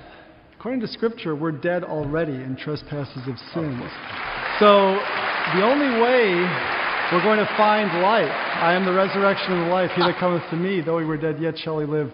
That is God's offer of life.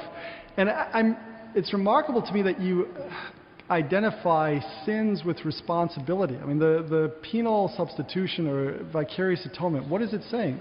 I mean, it's really saying that there's a moral law that all debts must be paid. And that's when you give the examples of, and, and of the uh, person who pays your debt, who serves the prison sentence for you, who dies the death that you deserve. That is what is at stake. That's what, what it means to be forgiven. It means that that debt is paid and that God will not hold you accountable for it because the debt has been paid. Jesus paid the debt. I'm not sure, you know, to bring in responsibility, of course, you did it. And God remembers that you did it, but He's not going to hold it against you. So I'm, and, but the thing is, you know, on atheist principles, what do you mean by responsibility? I mean, you talk to many uh, Darwinists, you're a Darwinist, uh, they will say free will is dead. I mean, something like uh, Will Provine at uh, Cornell. Uh, I mean, free will. I mean, in fact, it's, it's good that free will is gone because then you can't punish people for doing things that they were conditioned to do anyway. But the thing is, if you don't have responsibility, uh, if, if, you, if you don't have free will, you don't have responsibility. Responsibility is the ability to respond, to do differently.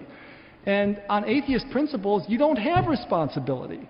So, look, I mean, I feel the pressure And the things that you bring up, and I think it, maybe it would be nice if we could just sit around and talk about these things at, at length sometime. Mm-hmm. Uh, I'm not entirely comfortable with all the theology.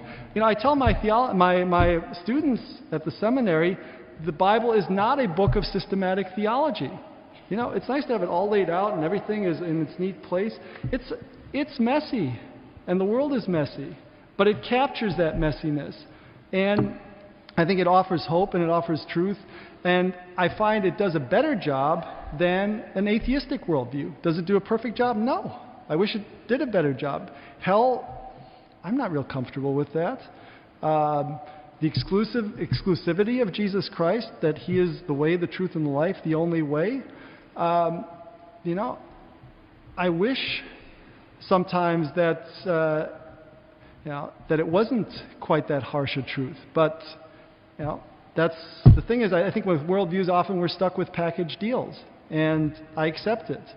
Uh, but I think we there, there, are tensions that we all deal with. And I, I, hope you, you find them in your atheistic worldview, because I don't think it's all neat and pat. And I think in these debates we sometimes have to pretend that we've got it all down, and I don't think any of us do, really.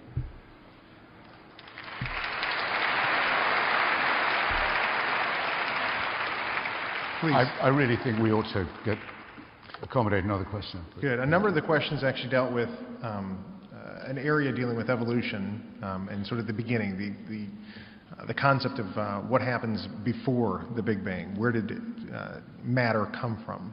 Um, how did we get that? And, uh, and so, if you could sort of respond to that from that concept, and, and actually, if uh, Dr. Dembski, in, in, you know, in talking about that same concept um, in dealing with uh, intelligent design, right? Where, where are the gaps within the species um, that you've found right? You know, those species that are, are in between that sort of give a, a problem to the intelligent design concept that sort of demonstrate evolution. All, all so, less, less than three or four minutes. Uh, yeah, well, yeah. well, I mean, I, I think uh, know, Christian theology has certainly taught that, uh, that God created the world from nothing. Nothing in the sense that there is no pre existing matter, that there's no principle outside God that, that is equally uh, eternal. Uh, and that, that seems to be uh, mirrored in, in the Big Bang because it seems that our physical laws, if we look at the observable universe, not the speculated multiverse, but if we look at the, the observable uh, known physical universe, it seems that when we trace back in time, we get back to some singularity, some point at which we can't push the laws of physics, can't run the, the clocks back any further. So that suggests the beginning. And this was actually a very big issue within the scientific community 30, 40, 50 years ago because when the Big Bang really seemed to be alive and, and the, the way to go in, uh, in our understanding of fundamental cosmology, uh, there was the sense that, uh, that that it opened the door to theism because the, the previous view had been a steady state view in which basically matter, the universe, everything was eternal, and uh, there was, uh, had, had basically been unchanged uh, since eternity. So it was a big challenge. Now, I think there are lots of moves these days to try to uh, monkey with the cosmology to get a bigger world, a multiverse, but basically that's a way of, I think, trying to trying to get by the theistic uh, implications of Big Bang cosmology. Uh, with regard to evolution, I don't know. I mean, uh, that, that's, that's just a huge topic. I mean, the, the continuity in the fossil record.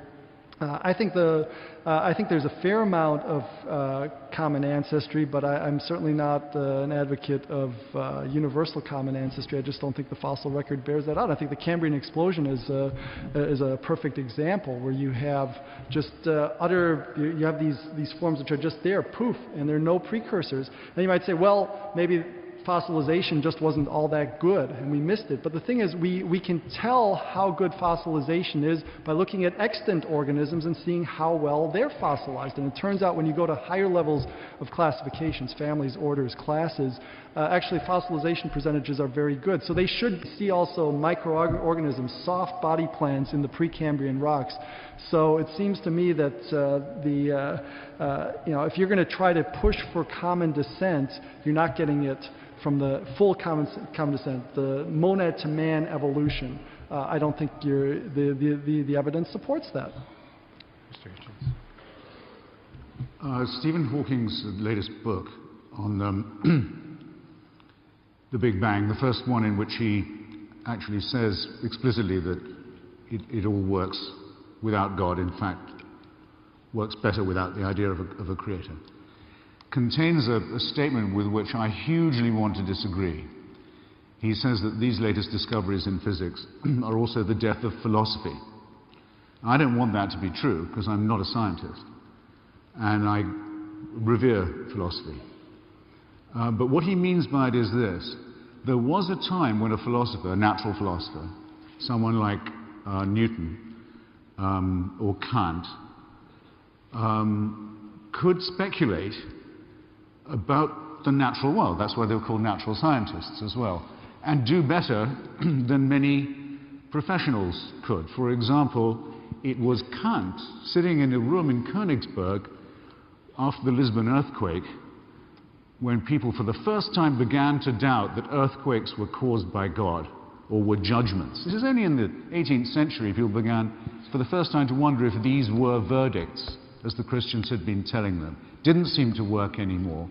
Kant proposed the idea, it said it may seem fanciful, but perhaps there are underground caverns, some of them even below the sea, which sometimes cave in and lead to what he didn't call seismic events, because we didn't have a word for seismology then. But there were philosophers could do scientific work by speculating on the natural world and using their heads, uh, as Lucretius could with the atoms.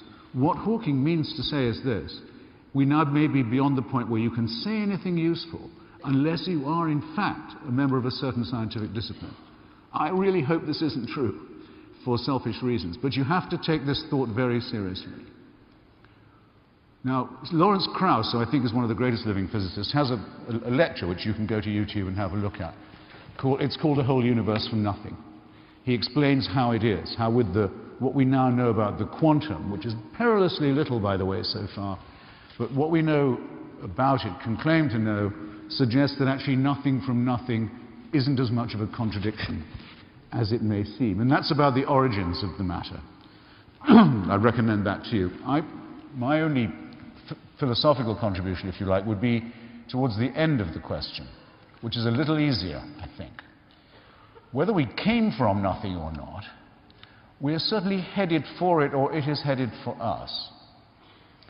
You may choose to believe that this tiny speck of a planet, in a, in a bang which blows out a million sun, a sun every second, sorry, a whole sun every second and has done for 10 billion years, that all that happened so that we could be meeting here today, you can choose to believe that if you want to. It's just, it's not even disproportionate. It's, it's, it's simply refusing to use the new language and the new evidence as if they meant anything at all. But suppose that to be true if you wish, if you must. If you look in the sky, you can actually see the Andromeda galaxy heading towards us now. We know, physicists can tell you, the date on which our galaxy will collide with Andromeda. Actually, it can be seen with the naked eye, the future. It's over. We don't know whether that will happen first or whether our sun will join the billions of suns that have blown up, or whether, Mm, now that we've discovered, discovered that Edwin Hubble's red light shift, showing the speed and rate of the expansion of the universe, the way in, in which it's flying apart, that as I said earlier, that speed and rate, this was only found out a decade ago, is increasing all the time completely contradicting everything we thought before. We're flying apart faster than we thought. A lot of nothingness is coming our way. Now, what design is that a part of, is what you have to ask yourself. Of what design, let alone of what benign design, could that conceivably be a part? This fantastic waste of energy, this gigantic profusion. Again, it makes God such a tinkerer and such a profligate just as 99.8% of every species created on Earth since it started has been dispensed with, has gone extinct, has been surplus to requirements. What a waste, what a, what a profusion, what a cruelty if you want to give it a human or a spirited name. Ah, that's what you have to believe. That's the kind of tinkerer, the kind of capricious, uh, incompetent tyrant, obviously so much modelled on our human experience of authority. As, as it's enough to convince me of what I'm now sure of. Man did not create God. Men and women created many, many, many gods and always have since the dawn of our history and still do. And one of those gods may be true, out of all of them, might be real, or all of them could be false, or all of them could be true. And the overwhelming probability, it seems to me, as the cults that attach to each of them, is that all of them are false, and for the same reason. They're made up by creatures half a chromosome away from being chimpanzees, and I'm afraid to say it shows. Thank you. Can I respond? Hmm. So we have to move on. I, I know we could, uh, we could uh, continue uh, to go back and forth for quite a while, and I appreciate you guys. Um, as opposed to getting to all the questions, you ask, actually answered a lot of the questions that we had uh, just by going back and forth. So we're going to we're gonna actually end up uh, closing with just our final statements, uh, five-minute final statements. And uh, Bill's agreement. I don't. I mean, I haven't thought of it till now. I'd rather have another question than summarize what I've already said.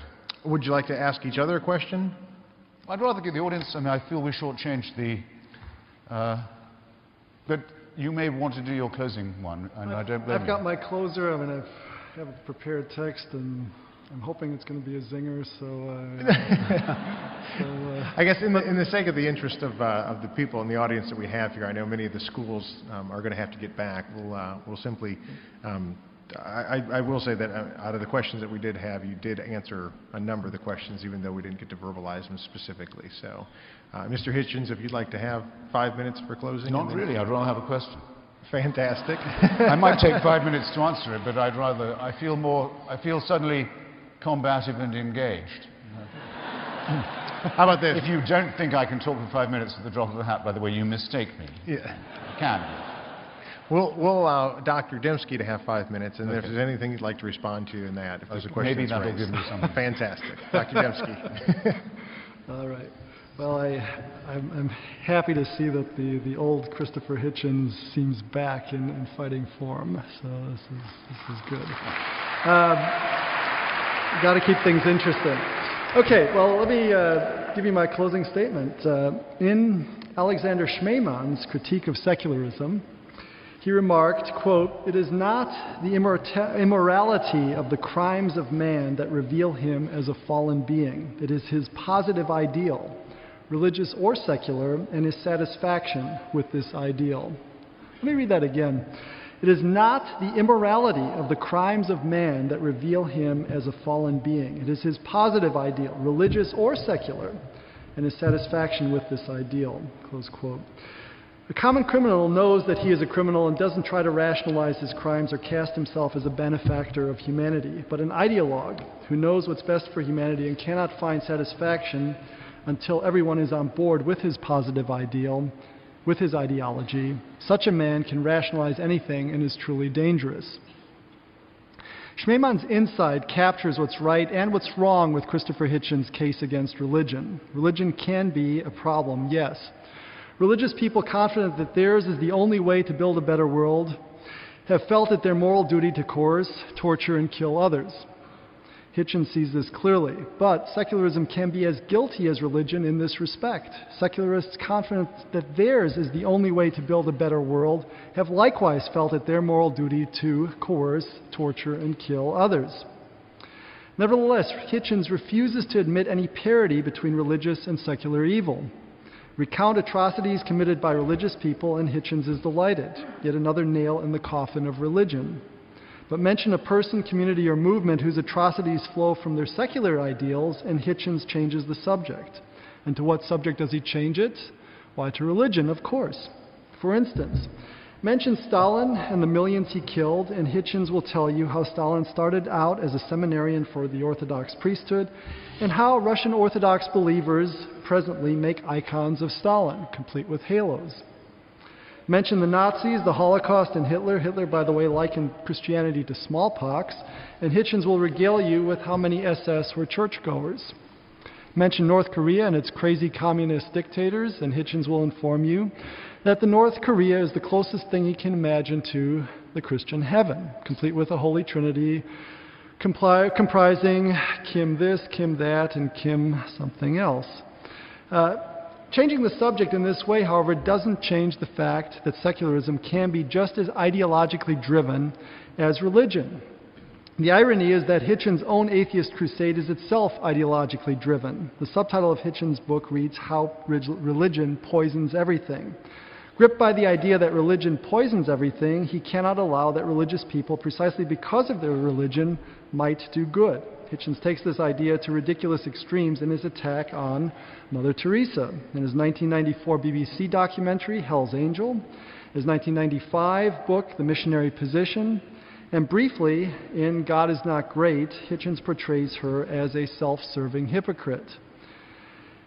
In the audience today is my good friend Mary Poplin, a professor at Claremont. She was in Calcutta with Mother Teresa when Hitchens came out with his book against her. Recently, Poplin published Finding Calcutta, in which she recounts her time with Mother Teresa. Poplin writes, quote, and Poplin and the nuns there were reading your, your book while she was there. Hitchens also accused Mother Teresa of receiving the best in health care when it was not available to the poor. However, I took an offer to her from a colleague's brother who was involved in developing a new pacemaker to replace her old pacemaker with new, a new and improved one. She said she could not accept it, but she would accept it for the poor. She also refused another medical offer. When I called and repeated these offers upon her becoming more ill a few months after I left, and that was close to her death, she again refused and asked for prayers instead. My impression is that she mostly received good health care when she was too ill to fight it.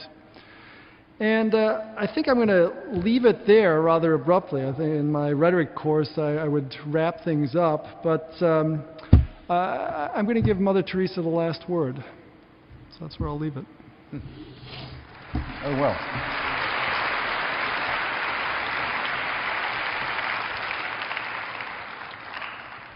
Well, Mother Teresa was a fanatic, um, a fundamentalist, and a fraud. She was not a friend of the poor, as she claimed to be. She was a friend of poverty.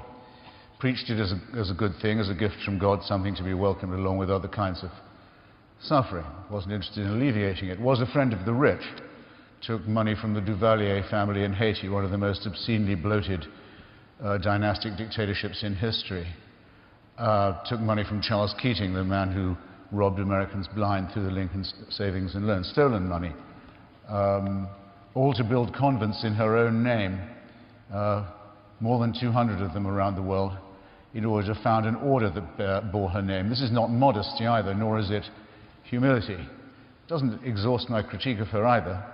Um, we all know there is a cure for poverty. It's a rudimentary one. It does work, though. It works everywhere for the same reason. It's colloquially called the empowerment of women. It's the only thing that does work. If you allow women control over, some control over their cycle of reproduction, so that they're not chained by their husbands or by village custom to annual animal type pregnancies, early death, disease, and so on. If you will free them from that, give them some basic uh, health of that sort, and if you are generous enough to throw in perhaps a handful of seeds and a bit of credit, the whole floor, culturally, socially, medically, uh, economic, of that village will rise. It works every time. Mother Teresa spent her entire life campaigning against that outcome. She said that contraception was equivalent to abortion morally, and abortion was morally equivalent to murder. She was entirely against the only thing that cures poverty. I would say that her preachments led to an enormous increase in the amount of poverty, ignorance, filth, and disease in the world. And I would further add, without embarrassment, that it's off those things that the Roman Catholic Church has always fed and made its living. Otherwise, there would have been no need for the Protestant Revolution, which brings us here today. Um, And believe me, I've, I've barely started with, uh, with that terrible person. Now, as I said before, you can be an atheist in anything you like. You can be an atheist in the Marquis de Sade. You can be an atheist and be uh, a great humanist. I mean, most of the uh, missionary work, people, work done by Médecins Sans Frontières, for example, by Oxfam, by many other people in the stricken parts of the globe which I've visited, done by people who are not doing it to proselytize for their faith, they're not doing it handing out Bibles surreptitiously. They're not doing it for any, for any such reason. They're doing it for its own sake. That's a, that's a beautiful humanism, and I admire it. I even think it has a slight superiority, and there's no hidden agenda to it. But I'm not going to have Nazism called secularism, if you don't mind. Uh, I'm a prisoner of what I know here. I know too much about it. I've read Mein Kampf, for example, which most people have not, where Hitler says several times, starting very early on, that he's doing God's work in exterminating the Jews. He went on saying that. The Vatican was shown the book. In those days, they would ban any book they didn't like the look of.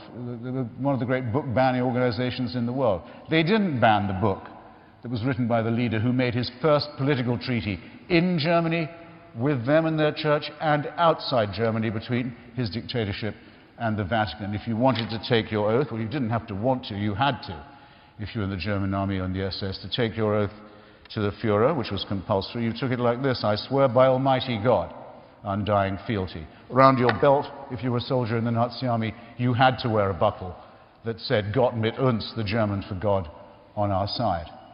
Uh, like every other form of totalitarianism and fanaticism, this is religious in itself, and it was not, it was not, as it was in some other countries, the Christian right in power, but it was the Christian right subsumed into a party that involved various other terrible mutations too. So I just have to defend myself, it seems to me, on these two uh, matters. I'll close on the implied question that uh, Bill asked me earlier. Why don't you accept this wonderful offer? Why wouldn't you like to meet Shakespeare, for example? I mean, I don't know if you really think that when you die you can be corporeally reassembled and have conversations with authors from previous epochs. It's not necessary that you believe that in Christian theology, and I have to say it sounds like a complete fairy tale to me. The only reason I want to meet Shakespeare, or might even want to, is because I can meet him any time, because he is immortal in the works he's left behind. If you've read those, meeting the author would almost certainly be a disappointment. But when Socrates was sentenced to death for his philosophical investigations and for blasphemy, for challenging the gods of the city, and he accepted his death, he did say, Well, if we are lucky, perhaps I'll be able to hold conversation with other great thinkers and philosophers and doubters too. In other words, that the discussion about what is good, what is beautiful, what is noble, what is pure, and what is true could always go on. Why is that important? Why would I like to do that? Because that's the only conversation worth having. And whether it goes on or not after I die, I don't know. But I do know that it's the conversation I want to have while I'm still alive. Which means that to me, the offer of certainty, the offer of complete security, the offer of an impermeable faith that can't give way, is an offer of something not worth having. I want to live my life taking the risk all the time that I don't know anything like enough yet, that I haven't understood enough, that I can't know enough, that I'm always hungrily operating on the, on the margins of, of a potentially great harvest of future knowledge and wisdom. I wouldn't have it any other way. And I'd urge you to look at those of you who tell you, those people who tell you at your age that you're dead till you believe as they do. What a terrible thing to be telling to children. And that you can only live. and that you can only live by accepting an absolute authority. Don't think of that as a gift. Think of it as a, think of it as a poisoned chalice. Push it aside, however tempting it is. Take the risk of thinking for yourself. Much more happiness, truth, beauty, and wisdom will come to you that way. Thank you.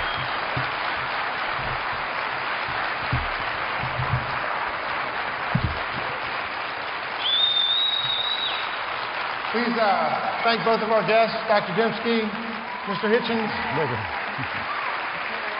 Yes, yes. Where was I before?